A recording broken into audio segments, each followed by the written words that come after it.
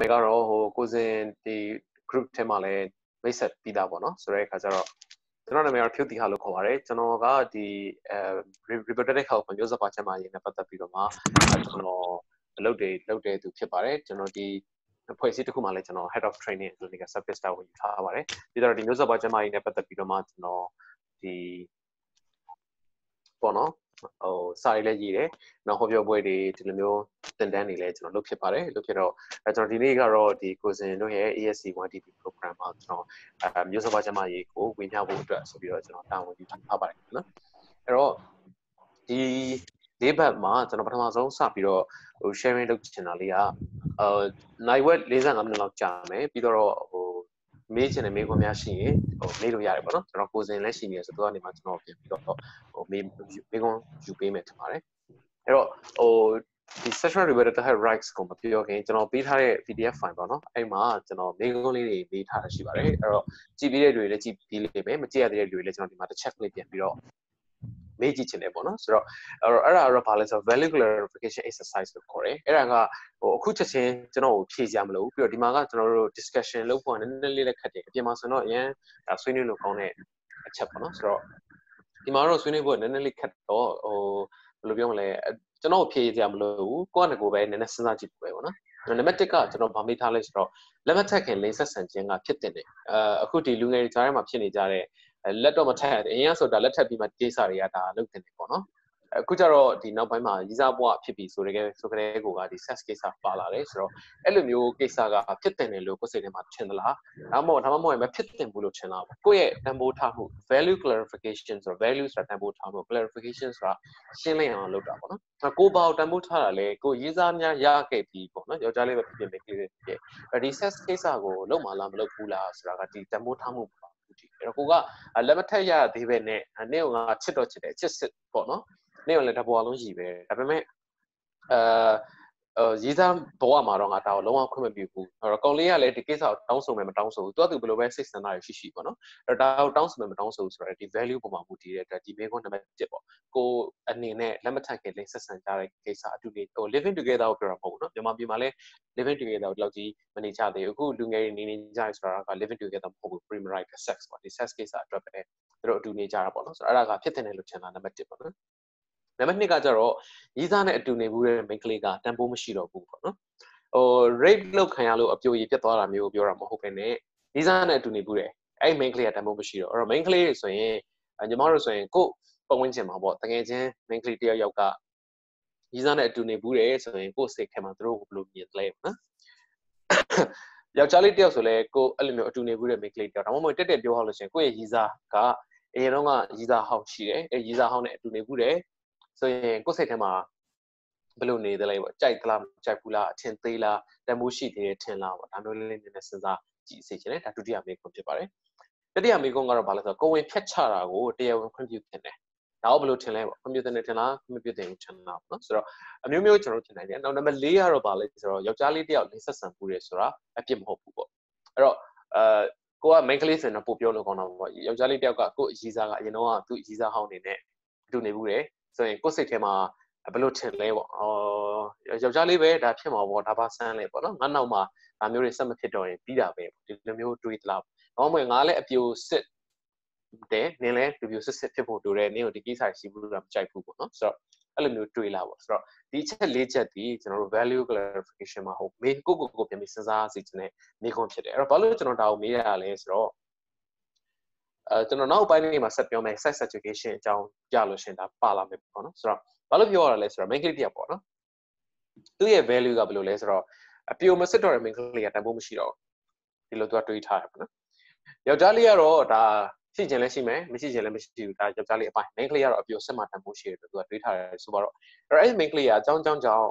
အာသမပြုကျင့်ခံရတဲ့အခါပြောကောင်းဆိုကောင်းပေါ့နော်ဒါမှမဟုတ်ရင်လည်းအာသူ့ကိုအရင်ချစ်ကြိုက်တဲ့လူသူကအရင်ညင်းနေတဲ့အ ခါမှာအဲ့လူကတင်းအကျက်ပေါ့နော်ကားပေါ်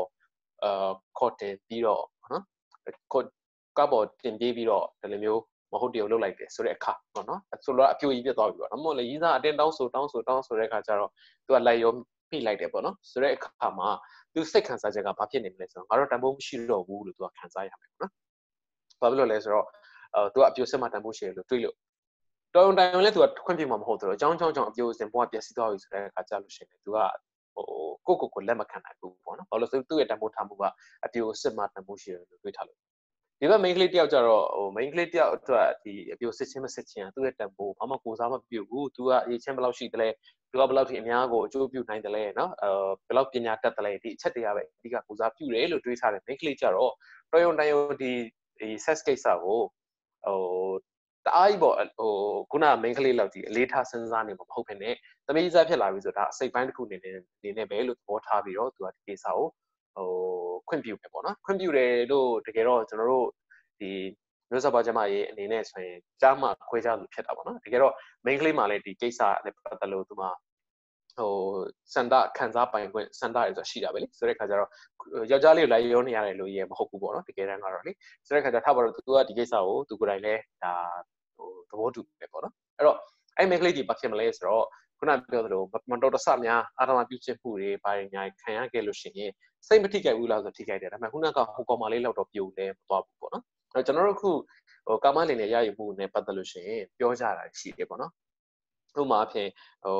နာမည်ကျော်ပေါ့ဒါအားလုံးလည်းသိပါတယ်မင်းသားတယောက်နဲ့နော်ဒီသမင်းကျော်ဘာညာနဲ့နောက်ကြတဲ့ကိစ္စပေါ့နော်ဆိုတော့အဲ့လိုကိစ္စတွေပေါ်လာကြတဲ့အခါမှာဟိုလူတွေကဘယ်လိုဖြစ်လဲဆိုတော့ဟိုပေါ့နော်ဒီ main ကလေးတွေကအတူနေတုံးနေတဲ့ခါကျတော့နေကြမယ်ပြီးလဲပြီးတော့မှနော်ဟိုယောက်ျားလေးတွေကိုပြန်ပြီးတော့တရားဆွဲကြမယ်အဲဒါဆိုဒုက္ခရောက်တော့မှာပဲစသဖြင့်ဒီလိုမျိုးတွေဟိုထင်ကြတယ်တကယ်တကယ်တမ်းကတော့အဲအစစ်ကျွန်တော်တို့ဒီအမြင်ပေါ်ကျွန်တော်တို့ တိလာတိကြတဲ့ကာမလင်လင်ရရမှုဆိုတာဒါယောက်ျားလေးကနာမည်ကျော်ပုဂ္ဂိုလ်ဖြစ်နေတယ်ဖြစ်တဲ့ခါမှာဒီလူကိုဒီလိုတရားဆွဲလိုက်ရင်တော့အနည်းလေးတော့လူတွေတိကုန်ကြမယ်ဆိုတော့အတွေးရှိတဲ့အခါမှသာလုပ်လို့ရတယ်ဘာဖြစ်လို့လဲဆိုတော့သူကဒီ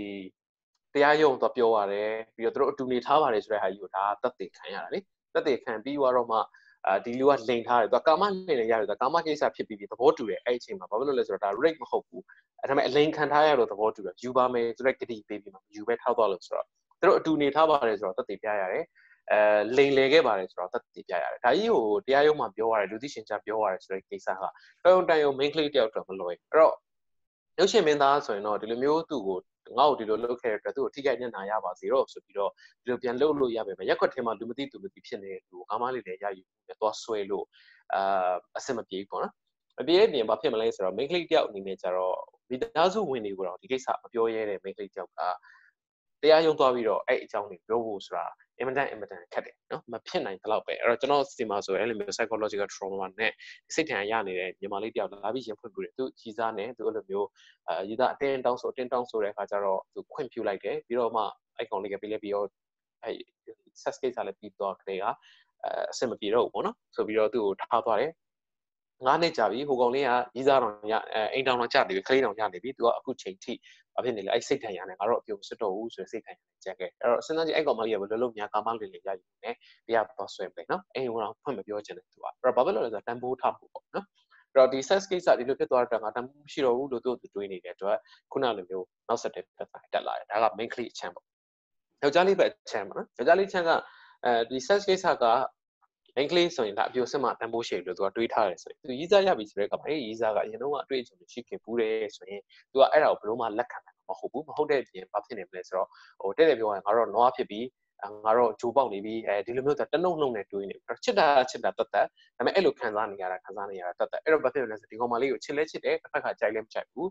အဲ့တော့အချိန်တိုင်းစကနာထိုးနေမယ်ဟိုတခုခုပြဿနာရှာနေမယ်အကြောင်းတိုက်ဆိုင်တိုင်းပေါ့နော်ဆိုတော့အရမူလာတိုင်းပြဿနာတွေရှာမယ်ဆိုတော့ relationship မျိုးတွေကအရေကန်ဓာတ်နဲ့တော့ဆိုင်တယ်အကြလေးတွေအပြုတ်စင်မှာတန်ဖိုးရှိတယ် main ကလေးကအပြုတ်စင်မှာတန်ဖိုးရှိတယ်လို့သူကတွေးလို့ပေါ့နော် အဲ့လိုပဲ main sex case ဆိုတာဘာဆန်လဲ relationship တစ်ခုဖြစ်လာပြီဆိုတာဘာမှမဆိုင်ဘူးလို့တွေးထားတယ်ယောက်ျားလေးဆိုရင်ကြတော့သူကလည်းဒီလောက်ကြီးစောင့်ထိန်နေမှာမဟုတ်ဘူးသူ့အတွက်ကြတော့အာဘယ်လိုခေါ်မလဲဖြည်းဖြည်းစင်စင်မြင့်မြင့်နုံနုံနဲ့ချက်လို့ဒီကိစ္စတွေမပါဘူးဒီကိစ္စတွေဘယ်တော့မှတောင်းမဆိုဘူးလက်ဖျားနဲ့တော့မထိဘူးဆိုတာပဲသူကတွေးမှာမဟုတ် sex case ဆိုတာသက်သာမှန်ပဲအဲ့သူ့ကိုလည်းကိုချင်းတရားပြပြနေတယ်လို့ပြောလို့တော့မရဘူးသူကလည်းဒါပါလဲဆိုတော့သူ့ရဲ့တန်ဖိုးထားမှုပေါ့နော်အဲ့တော့အဲ့လိုယောက်ျားလေးကတော့ခုနကလိုနွားဖြစ်ပြီးတော့ဘာလို့ကောင်းထဲမှာတိတ်ရှိမှာမဟုတ်ဘူးအဲဘာလို့သူလဲ အာသူ့တမဆန်နိုင်ငံခြားကလူတွေလိုပဲပေါ့နိုင်ငံခြားယောက်ျားတွေရဲ့တွေ့ရမှာနွားဖြစ်တယ်ဆိုတာမျိုးမရှိရနော်ဆိုတော့ သူကလည်းမဆန်မဆန်တော့ဘာဖြစ်မလဲဆိုတော့အဲ့လိုယောက်ျားလေးနဲ့ဒီဘက်ကအာအပြိုစင်ဘွားကိုအရန်ထိမ့်သိမ်းပါတယ်ဆိုတော့ main ကလေးနဲ့ရီးစားဖြစ်လို့ရှိရင်ပြဿနာတွေတက်တယ်ဒီကောင်လေးကတောင်းဆိုမယ်ကောင်လေးကကောင်မလေးကမလိုက်ရောဘူးမလိုက်ရောတော့သူတို့ relationship ကအဆင်ပြေဘူးဟိုဒီတိုင်းပြတ်သွားလို့ဆိုတော်သေးတယ်အဲ့မှာကောင်လေးကအတင်းတောင်းဆိုလို့ကောင်မလေးကလည်းရောလိုက်တယ်လည်းရောပြောတော့မှအကြောင်းအကြောင်းကြောင့်ပြက်ပြီလဲဆိုတော့ကောင်လေးတော့ကတော့ဒါဘာမှမဆန်ဘူးသူဘာမှလည်းရယူထားတာမဟုတ်ဘူးဘာမှလည်းဟိုလွန်ကျူးထားတယ်လို့သူစိတ်ထဲမှာခံစားရအောင်ဒါတာမှန်ပဲနော် မကောင်မလေးကကြတော့ဘာဖြစ်သွားလဲဆိုတော့ငါတော့အပြူအပြူမစစ်တော့ဘူးဆိုပြီးတော့သူစိတ်ထဲမှာပြိုလဲကြေပွဲပြီးတော့အရာရင်းနဲ့ကြံခဲ့ရမယ်ပေါ့နော်ကျွန်တော်ပြောချင်တာတော့ဘာလဲဆိုတော့ကျွန်တော်တို့မှာလိန်ကိစ္စနဲ့ပတ်သက်တဲ့တန်ဖိုးထားမှုတွေရှိကြတယ်အဲ့တန်ဖိုးထားမှုတွေကိုကျွန်တော်တို့ကသိအောင်လုပ်ဖို့လိုတယ်ကိုကဘာကိုတမို့ထားလဲအဲ့ဒါကိုသိတော့မှဘာဖြစ်မလဲဆိုတော့ဒီ relationship တွေမှာအဆင်ပြေမယ်ဒီ link ဆိုင်နဲ့ပတ်သက်တဲ့ကိုယ့်ရဲ့ရှုမြင်မှုတွေမတူဘူးဆိုတာလေးကိုကျွန်တော်သဘောပေါက်သွားမယ်ပေါ့နော်ဆိုတော့အဲ့ဒါလေးကိုကျွန်တော်အရင်ဆုံးဒီဒီကျွန်တော်ဒီလေးဘတ်တာမျှဝေမဲ့ မှာကျွန်တော်ပထမဆုံးအနေနဲ့စပြီးပြောချင်တယ်အဲ့တော့ဒီမှာကြည့်နေရင်ညီမတွေအနေနဲ့လည်းကျွန်တော်ပြန်လဲဖြေစရာမလိုကိုယ်စိတ်ထဲမှာဘယ်လိုတွေးလဲကိုဝင်ဖြတ်ချခွင့်နဲ့ပတ်သက်လို့ကျွဲကိုဝင်ဖြတ်ချခြင်းကိုဘယ်လိုပြင်လဲပေါ့တချို့လူလူတွေကြတော့ဒါကမလိုချင်တဲ့အချိန်စဉ်းစားမဖြစ်တဲ့အချိန်မှာရလာတဲ့ကိုဝင်ဖြတ်ချတာကပိုပြီးကောင်းတယ်ဘာလို့လဲဆိုတော့ဒီမောင်ဝေပညာရေးထိခိုက်မယ်စီးပွားရေးထိခိုက်မယ်လူမှုရေးထိခိုက်မယ်စသဖြင့်ပေါ့သူကသူတို့ကနောက်ဆက်တဲ့ဆိုးကျိုးတွေမြင်ပြီးတော့အဲဒါကိုဖြတ်ချမယ်ပေါ့နော် တစ်ဖက်ကတချို့ကြတော့ရလာရင်တော့မတက်နိုင်ဘူးတော့သူဘလို့ခက်ခဲပဲရှိရှိယူရမှာပဲငါတို့သူတပါကလေးရဲ့အသက်ကိုတော့ဘယ်တော့မှမတက်ဘူးလို့တွေးတယ်သူတွေလည်းရှိမယ်ပေါ့နော်ဆိုတော့ဒီနှစ်ခုဒီလိုဒိုးစုနှစ်စုရှိနေရှိနေတဲ့ခါကျတော့ခုနလိုပဲသမီးစားအိမ်တောင် sorry အိမ်တောင်မကြသေးဘဲနဲ့ကိုဝင်ရသွားတယ်ဆိုလို့ရှိရင်သူတို့ value ဒါတူမှာပြီမင်းကလေးကဘလို့ပဲဖြစ်ဖြစ်ငါဒီကလေးကိုမွေးမယ်ဘလို့အခက်ခဲပဲရှိရှိငါကလေးရဲ့အသက်ကိုတော့ဘယ်တော့မှမတက်ဘူးလို့တန်ဖိုးထားထားတဲ့ main ကလေးနေဒီဘက်ကကျတော့ဟဲ့ယူလိုက်လို့ရှိရင်ငါတို့နေရာနောက်ဆက်တွဲနော်စိုးချိုးတွေအများကြီးဖြစ်လာမှာပေါ့လို့တွေ့တဲ့ယောက်ျားလေးဆိုသွားပြီသွားလိုက်မယ်ဘာဖြစ်မလဲဆိုယောက်ျားလေးဖြစ်ချခိုင်းမယ် main ကလေးကဖြစ်ချနိုင်ဘူးဖြစ်ချနိုင်လို့ရှိရင်ဘာဖြစ်မလဲဆိုတော့ဟိုဖြစ်တာပေါ့နော်ဒီကောင်ကအာတာဝန်မယူဘဲနဲ့ဖြတ်ချခိုင်းနေဆိုပြီးတော့မှဒီလူကအဲ့လိုပြဿနာတက်သွားနိုင်နေပေါ့နော်ဆိုတဲ့အခါကျတော့ကိုယ်ဖြတ်ချခွင့်နဲ့ပတ်သက်လို့ရှိရင်လည်းကျွန်တော်တယောက်နဲ့တယောက်တည်းမို့ထားမှုမတူတချို့ main ကလေးကျတော့လေကြီးစားပြောလို့မဟုတ်သူတို့ကိုယ်တိုင်ကိုက နောက်ဆက်တွဲလူမှုရေးစီးပွားရေးထိုးချိုးတွေဖြစ်လာမယ်အဲ့တော့သူတို့ကိုယ်တိုင်ကိုကကိုယ်ဖြတ်ချခြင်းတဲ့ mix လေးတွေလည်းအများကြီးပဲရှိတယ်ပေါ့နော်ဆိုတဲ့အခါကျတော့ကိုယ့်ရဲ့တမိုးထားမှုနဲ့ကိုယ်ပဲဆိုတာလေးကိုသိစေချင်တယ်ဒါနံပါတ်1ပေါ့နော်ပြီးတော့တဲ့အခါကျတော့မှကျွန်တော်ဒီနေ့ရုပ်စပွားကျမ်းမာရေးနဲ့ပတ်သက်တဲ့အခွင့်အရေးတွေကျွန်တော်ပြပြမှာဖြစ်ပါတယ်။ဒါမှပြောပြခင်မှာကျွန်တော်အချက်လက်ကလေးတွေနောက်ထပ် PowerPoint slide ပြထားပါတယ်။ SRA status ပေါ့နော်။အဲ့တော့ဘာလဲဆိုတော့အခြေအနေပေါ့ဒါကျွန်တော် WHO ကနေယူထားတဲ့ချက်လက်တွေဖြစ်ပါတယ်အဲ့တော့ဘာလဲဆိုတော့တနေ့တနေ့ကိုတဲ့ဒီ STI ဆိုတာတော့ကာလာသားယောဂပေါ့နော် ကာလာသားယောဂတွေကုသမှုတွေရဲ့130တန်းပေါ့နော်နောက်ပြီးတော့တဲ့အခါကျတော့ new HIV infection ဆိုတာ HIV အသစ်အသစ်ထပ်ကူတဲ့လူတွေရဲ့တဝက်လောက်ကတဲ့ဘယ်သူတွေမှာဖြစ်နေရလဲဆိုတော့လူငယ်တွေမှာဖြစ်နေရပေါ့နော်နောက်ပြီးတော့15နှစ်နဲ့19နှစ်ကြာ main ကလေးတွေရဲ့ဒီသက်သမဒီတန်းကကိုဝင်ဖြတ်ချဖို့ကြိုးစားနေတယ်ကိုဖြတ်ချဖို့ကြိုးစားရဲဆိုကြတဲ့ကမလို့ချင်လို့ပေါ့နော်အဲ့တော့ mostly unsafe ပေါ့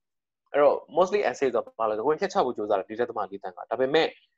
unsafe အဲ့ဒီအများတဲ့ကိုဝင်ဖြတ်ချခြင်းတွေကိုသုံးနေရတယ်။ဥပမာကျွန်တော်မြန်မာနိုင်ငံမှာ main ကလေးတယောက်ကိုဝင်ဖြတ်ချခြင်းဘာလို့လို့ရလဲဆိုတော့ဘာမှတိတိကျကျလုပ်လို့မရဘူးပေါ့နော်။ and safe ပေါ့အန်ဒီအများနီးလန့်နေပဲများတယ်။ဒါဆိုဘယ်ဆရာမစီကမှသွားလို့မရဘူး။ကျွန်တော်စီကိုရောက်လာလို့ရှိရင်လည်း even ကျွန်တော်ကိုယ်တိုင်တောင်မှ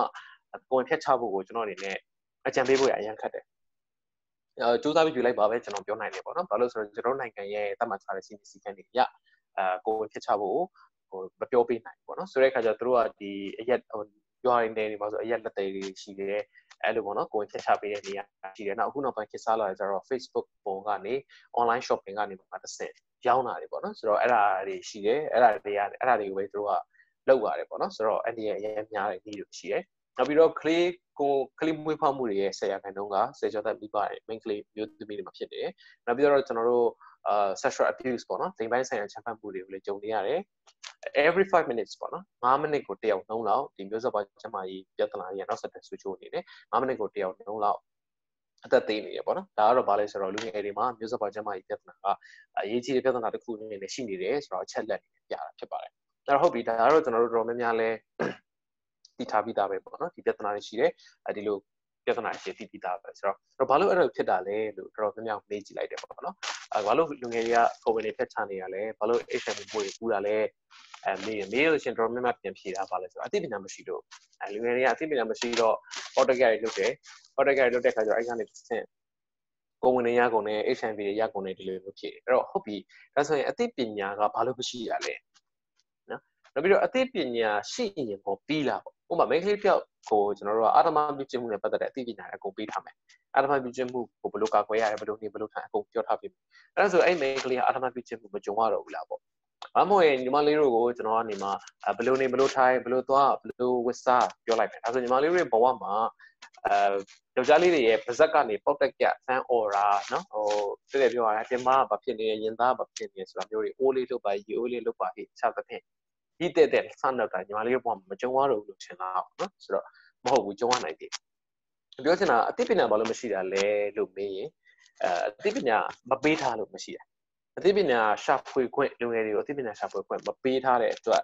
ဘာဖြစ်နေရလဲဆိုတော့လူငယ်တွေမှာအသိပညာမရှိတာအဲ့လိုပဲအသိပညာရှိရုံနဲ့လည်းမပြီးသွားဘူးတခြားအကြောင်းရင်းတွေကြောင့်လည်းဒီပြဿနာတွေကြုံရနိုင်တယ်ဆိုတော့တကယ်အခြေခံရင်းမြစ်ဒီအသိပညာမရှိလို့မဟုတ်ပဲလူငယ်တွေမှာရှိတဲ့မျိုးဆက်ပေါ်ချမ်းမာရေးဆိုင်ရာအခွင့်အရေးတွေမရလို့ဖြစ်တယ်ပေါ့နော်အဲလူငယ်တွေမှာရှိတဲ့အသိပညာရှာဖွေပွိုင်းခွင့်ကျွန်တော်တို့ပိတ်ထားတယ်အဲ့ဒါဘာဖြစ်လဲဆိုတော့ခုနပြောပြဿနာတက်တယ်အဲလူတွေမှာကိုယ်ကုံသိခါနဲ့ကိုယ်နေပိုင်းခွင့်ရှိတယ်ဒါပေမဲ့အဲ့ဒါကိုလူတွေကဝိုင်းချိုးပေါ့တယ်အဲ့အတွက်ကျွန်တော်တို့ခုနလို main ကလေးတွေဆိုရည်တဲ့တဲ့နဲ့ အပြောခံရတယ်ဆိုတဲ့ကိစ္စတွေရှိလာတယ်အဲကျွန်တော်တို့အားလုံးမှာအာခွဲခြားဆက်ဆံခြင်းတွေအနိုင်ကျင့်အချက်ဖတ်ခြင်းတွေကနေကင်းလို့ပိုင်ခွင့်ရှိတယ်ဒါပေမဲ့အဲ့ခွင့်ရကိုချိုးဖောက်ခံရတဲ့အတွက်အာယောက်ျားလေးရော main ကလေးရော rape လုပ်ခံရတာတွေ နော်ဒီနှုတ်နဲ့စော်ကားခံရတာတွေလူကုန်ကူးခံရတာတွေစသဖြင့်ဒါမျိုးရှိလာတော့ပြောချင်တာတော့ဘာလဲဆိုတော့ကျွန်တော်တို့ခုနပြောတဲ့လူငယ်တွေမှာကြုံနေရတဲ့ပြဿနာတွေအသိပညာမရှိလို့တတ်တတ်မဟုတ်ဘူးတကယ်အခြေခံအရင်းမြစ်ကဘာလဲလို့မေးရင်မျိုးဆက်ပါကျမကြီးဆိုင်ရာခွင့်အရေးတွေမရတဲ့အတွက်ဖြစ်တာပေါ့နော်အဲ့တော့ဟုတ်ပြီအဲ့ဆိုမျိုးဆက်ပါကျမကြီးဆိုင်ရာခွင့်အရေးတွေကဘာလဲလေပေါ့နော်ဆိုတဲ့အခါကျတော့နံပါတ်1ကကျွန်တော်အဲ့ PowerPoint file မှာပြပေးထားတာဖြစ်တဲ့အတွက်ဟောပေါ့နော်အကုန်လုံးတော့အစဆုံးပြမဖက်မဖက်ပြတော့ဘူးပေါ့နော်အဲ့နံပါတ်1ကတော့ဗာလဲဆိုတော့ service ပေါ့ဝန်ဆောင်မှုပေါ့နော်အဲ့တော့ကျွန်တော်တို့လူငယ်တွေပဲဖြစ်ဖြစ်လူကြီးပဲဖြစ်ဖြစ်မျိုးစပါချမ်းပါရင်လည်းပတ်သက်တဲ့အရေးအသွေးမြင့်ဝန်ဆောင်မှုတွေကျွန်တော်တို့အားလုံးမှာရပိုင်ခွင့်ရှိတယ်အဲ့တော့ထားပါတော့ဒီလူငယ်တယောက်ကဟိုစေကန်းတော့ပြမယ်ပေါ့အာ3လခန့်ထိုးစေထိုးဖို့ပေါ့နော်အဲ့နဲ့ဆရာမကမေးတယ်နေကဘာလို့လာထိုးတာလဲအိမ်တောင်ရှိပြီလားအိမ်တောင်မရှိသေးဘူးပေါ့သူနေအိမ်တောင်မရှိသေးဘူးဆိုတော့သမီးစားနဲ့အဲ့လိုသူနေရတယ်ရှိလို့စိတ်ချအောင်လာထိုးတာဆိုရင်အဲ့ဆေးထိုးတဲ့ ဟာကိုမလုပ်ပေးသေးဘူးအရင်ဆုံးဘာလုပ်လဲဆိုတော့ဆရာဝန်ကဆရာမက lecture ရိုက်တယ်ဟောနေအသက်ငယ်လေးနဲ့နင်တို့ပျက်စီးနေပြီเนาะဒီကိစ္စတွေနင်တို့ဘာလို့လုပ်နေရတာလဲဆိုပြီးတော့မှဝန်ဆောင်မှုကိုမပေးသေးဘူးလေအရင်ဆုံး judgment လုပ်တာပေါ့နော်အဆုံးဖြတ်ပေးပြီးတော့မှနင်တို့မလုပ်နေဘလို့ထိုင်စတဲ့အဲ့လိုလုပ်ကြအဲ့လိုလုပ်တာကိုလည်းမှန်တယ်လို့ ယူဆကြတဲ့အပိုင်းဝိုင်းလို့ဖြစ်တယ်အဲ့တော့မှားတယ်လို့တော့လည်းမပြောချင်ဘူးဒါပေမဲ့တနည်းအားဖြင့်ပါလို့ဆိုတော့ဒါကသူတစ်ပိုင်း right ကိုကျွန်တော်တော့ချုပ်ဖောက်လိုက်တာပဲပေါ့နော်အဲ့တော့အရင်သင်းနေဝန်ဆောင်မှုတွေရပိုင်မှုရှိရမယ်အဲ့သူကတော့ဒီဘာသာကိုယ်ွယ်လို့သူကတော့အသက်ငယ်လို့သူကတော့စင်ရလို့သူကတော့ဒီ data မှာနေလို့မဟုတ်ဘဲနဲ့ကျွန်တော်တို့အားလုံးမှာမျိုးစပါကျမ်းမာရေးဆိုင်ရာနဲ့ပတ်သက်တဲ့ဒီရင်သင်းနေဝန်ဆောင်မှုတွေရပိုင်မှုရှိတယ်နံပါတ်1ပေါ့နံပါတ်2ကတော့ကျွန်တော်တို့ဗာလဲဆို safety and dignity ပေါ့လုံခြုံမှုနဲ့ ဟိုတန်ဖိုးထားလေးစားခံပိုင်ခွင့်လူကုန်တိတ်ခါကိုပေါ့နော်တန်ဖိုးထားလေးစားခံပိုင်ခွင့်ကျွန်တော်တို့ရှိမရှိတယ်ဒါပါလဲဆိုတော့ခုနကကျွန်တော်တို့ break ပေါ့နော်အာမြောက်တစ်ခုမှာကျွန်တော်တို့ဒီဆွေးနွေးပွဲတစ်ခုမှာမြောက်တစ်ခုမှာမြောက်ဥက္ကလာလာမသိတော့နော်ဆိုတော့အဲ့မှာဒီဒီမလေးတယောက်ကထားဆွေးနွေးဘာလဲဆိုတော့သူဒီ cycle carry သမားညဘက်သူတို့က bus car နေပြန်လာလို့ရှိရင်အိမ်ကိုပြန်ဖို့က cycle carry သမားထပ်ခေါ်ရသေးတယ်ည10နာရီလောက်ပေါ့နော် အဲ့မှာသူ cycle carry သမားနဲ့ပြန်တဲ့အခါကျတော့ cycle carry carry သမားကဟို cycle ပေါ်မှာပေါ့နော်သူမဟုတ်တရုတ်လုပ်တယ်ပေါ့ဟုတ်တော့သူအဲ့ဒီမှာ cycle ပေါ်မှာဖြစ်တဲ့အတွက်ကြောက်လန့်နေတယ်ဟိုအော်တို့အကူအညီတောင်းဖို့လည်းခက်တယ်ညဘက်ကြီးဖြစ်နေရပေါ့နော်ပြီးတော့တဲ့အခါကျတော့အာဆိုင်ကယ်ပေါ်မှာလေးဆိုတခုခုပြောလိုက်လို့ရှိရင်ဆိုင်ကယ်သူရောဆိုင်ကယ်မှောက်တော့လို့ရှိရင်သူ့မှာလည်းထိခိုက်တယ်ရနိုင်ရှိအဲ့တော့ကြိတ်မိတ်ပြီးတော့မှငြိမ်နေရတယ်ပေါ့နော်အိမ်ပြန်ရောက်တော့မှသူဘာလုပ်ရလဲဆိုတော့အိမ်လေးကိုအသေးသေးပြေးရတယ်ပေါ့ မပြောချင်တာတော့ဒါဘာကိုပြလဲဆို safety မရှိအောင်ပြတယ်ကျွန်တော်တို့မီးတွေပြစ်တယ်အဲရဲတွေအကူအညီမရဘူးဘာမှမဟုတ်လဲတိုက်ပွဲရှင်နေတယ်ဘာမှမဟုတ်လဲကျွန်တော်တို့ဟိုခုနပြောဆိုဟိုလူနေမှုစင်တန်အရင်နှိမ့်တယ်ရက်ဆိုင်ပေါ်တယ်သူကဒါပါလဲဆိုတော့ကျွန်တော်တို့ safety ဒီထိခိုက်ရဆိုတဲ့အသေးပဲဖြစ်တယ်နောက်တစ်ခါကျွန်တော်တို့အခု social media ပေါ်မှာဆိုရင်ဟိုတလောကမင်းသားရုပ်ရှင်မင်းသားတယောက်နဲ့ဖြစ်သွားတဲ့ကိစ္စမှာဆိုလေဒီကျူးလွန်ခံရတဲ့အသက်အရွယ်မပြည့်သေးတဲ့ဒီအိမ်ကူကောင်မလေးရဲ့ dignity ကိုကျွန်တော်တို့ရစရာမရှိအောင် ဝိုင်းပြောကြတဲ့ comments တွေဖတ်ရပါလိမ့်မယ်ပေါ့နော်ဆိုတော့နောက်ဆုံးဒီလိုနှိပ်စက်တယ်ဆိုတာတည်သွားတဲ့အချိန်ထိကိုလည်းဒီကောင်မလေးရဲ့ dignity ကိုကျွန်တော်တို့ဒီချိုးဖောက်နေကြဆဲပဲပေါ့နော်အဲ့တော့ main ကလေးတယောက်ရဲ့အဲတဲ့ပြောရင် HD ပေါ့ဟိုဒီသူတို့ sex လုပ်နေတဲ့ video တခုပြန်သွားတယ်ဆိုတော့အဲ့ဆိုရင်ယောက်ျားလေးကိုဝိုင်းအပြစ်ပြောတဲ့လူကနေတယ် main ကလေးကိုပဲဝိုင်းအပြစ်ပြောတယ်အဲ့ဒီအပြင်ဒီ main ကလေးရဲ့ဖျားသွားနေတဲ့ဓာတ်ပုံတွေတခြားကောင်းတဲ့လောက်ကောင်းတာလုပ်နေတဲ့ဓာတ်ပုံတွေအောက်မှာပါရကြံဖြစ်အောင် comment တွေတော့ပေးရအမှ ခရိုင်ပြောနှင်း order ဘယ်လိုဖြစ်နေလဲအဲဒီမှာရောဘယ်လိုလုပ်ပြန်ပြီးလဲအဲ sub တွေပေါ့ဒီတဲ့တဲ့လို့ပြောရ comment တွေအများကြီးအဲကျွန်တော်တို့ဒါတွေ့ဘူးလိမ့်မယ်ဒါဘာလဲဆိုတော့အသိပညာအားနည်းနေလို့ဒီလိုအလုပ်ခံရတာမဟုတ်ဒီ main client ရဲ့ဂုဏ်သိက္ခာကိုတန်ဖိုးထားမလေးစားကြပဲရကြမရှိအောင်ဝိုင်းပြောကြတာမျိုးပေါ့နော်ဥပမာ LGBT ဖြစ်လို့ဆိုလို့ရှိရင်လည်းနော်ရစရာမရှိအောင်ဝိုင်းပြီးတော့အောက်မှာသူ့ရဲ့ဂုဏ်သိက္ခာကိုထိခိုက်စေတဲ့ comment မျိုးတွေနဲ့စနောက်တာတွေမဖွင့်လဲခုနလိုအပြစ်တင်တာတွေကဲ့ရဲ့တာတွေစတဲ့ဒါတွေလုပ်နေကြတယ်ဆိုတော့တနည်းအားဖြင့်တော့ဒီလူတွေမှာရှိတဲ့ dignity ပေါ့ right to dignity ကိုကျွန်တော်တို့ကချိုးဖောက်လိုက်တာပဲဆိုတာလေးကိုသိစေချင်တယ်ပေါ့ဒါကဒုတိယမြောက် rights ဖြစ်ပါတယ်တတိယမြောက်ကတော့ကျွန်တော်တို့ဗာလဲဆိုတော့မျိုးဆက်ပါချက်မိုင်းနဲ့ပတ်သက်တဲ့သတင်းအချက်လက်တွေကိုရှာဖွေရယူပိုင်ခွင့်ဖြစ်တယ်ဒါကတော့ကျွန်တော်တို့ခုနပြောတဲ့အဲဘာလို့အသိပညာမ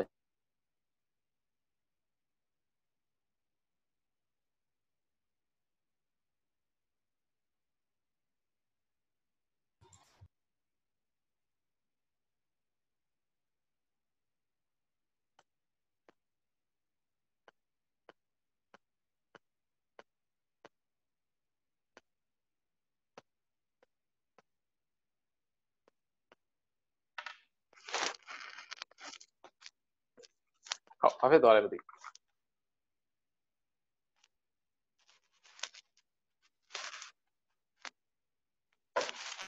ဟုတ်ကျွန်တော်မြင်ရသေးလား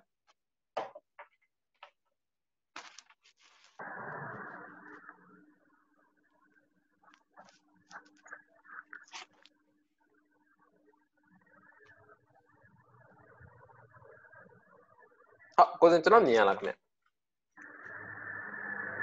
မြင်ရတယ်ဗျ ဟုတ်ကဲ့ဆက်ပြောလိုက်ရမလားဟုတ်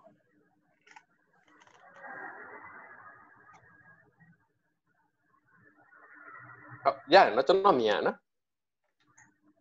ဟုတ်မြင်ရတယ်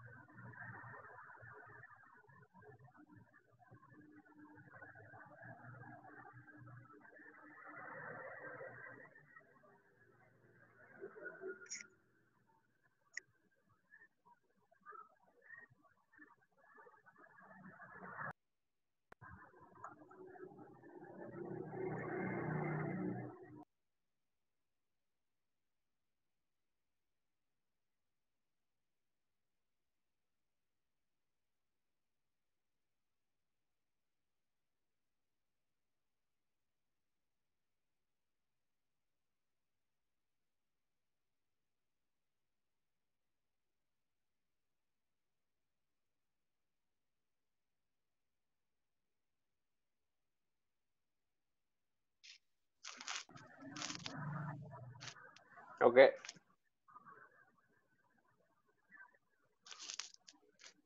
ဟုတ်ရပြီလားမသိခင်ဗျ sorry ပါကျွန်တော်ဘက်ကဘာလို့လိုက်ကြပါလဲမသိဟုတ် sorry နော်အဲ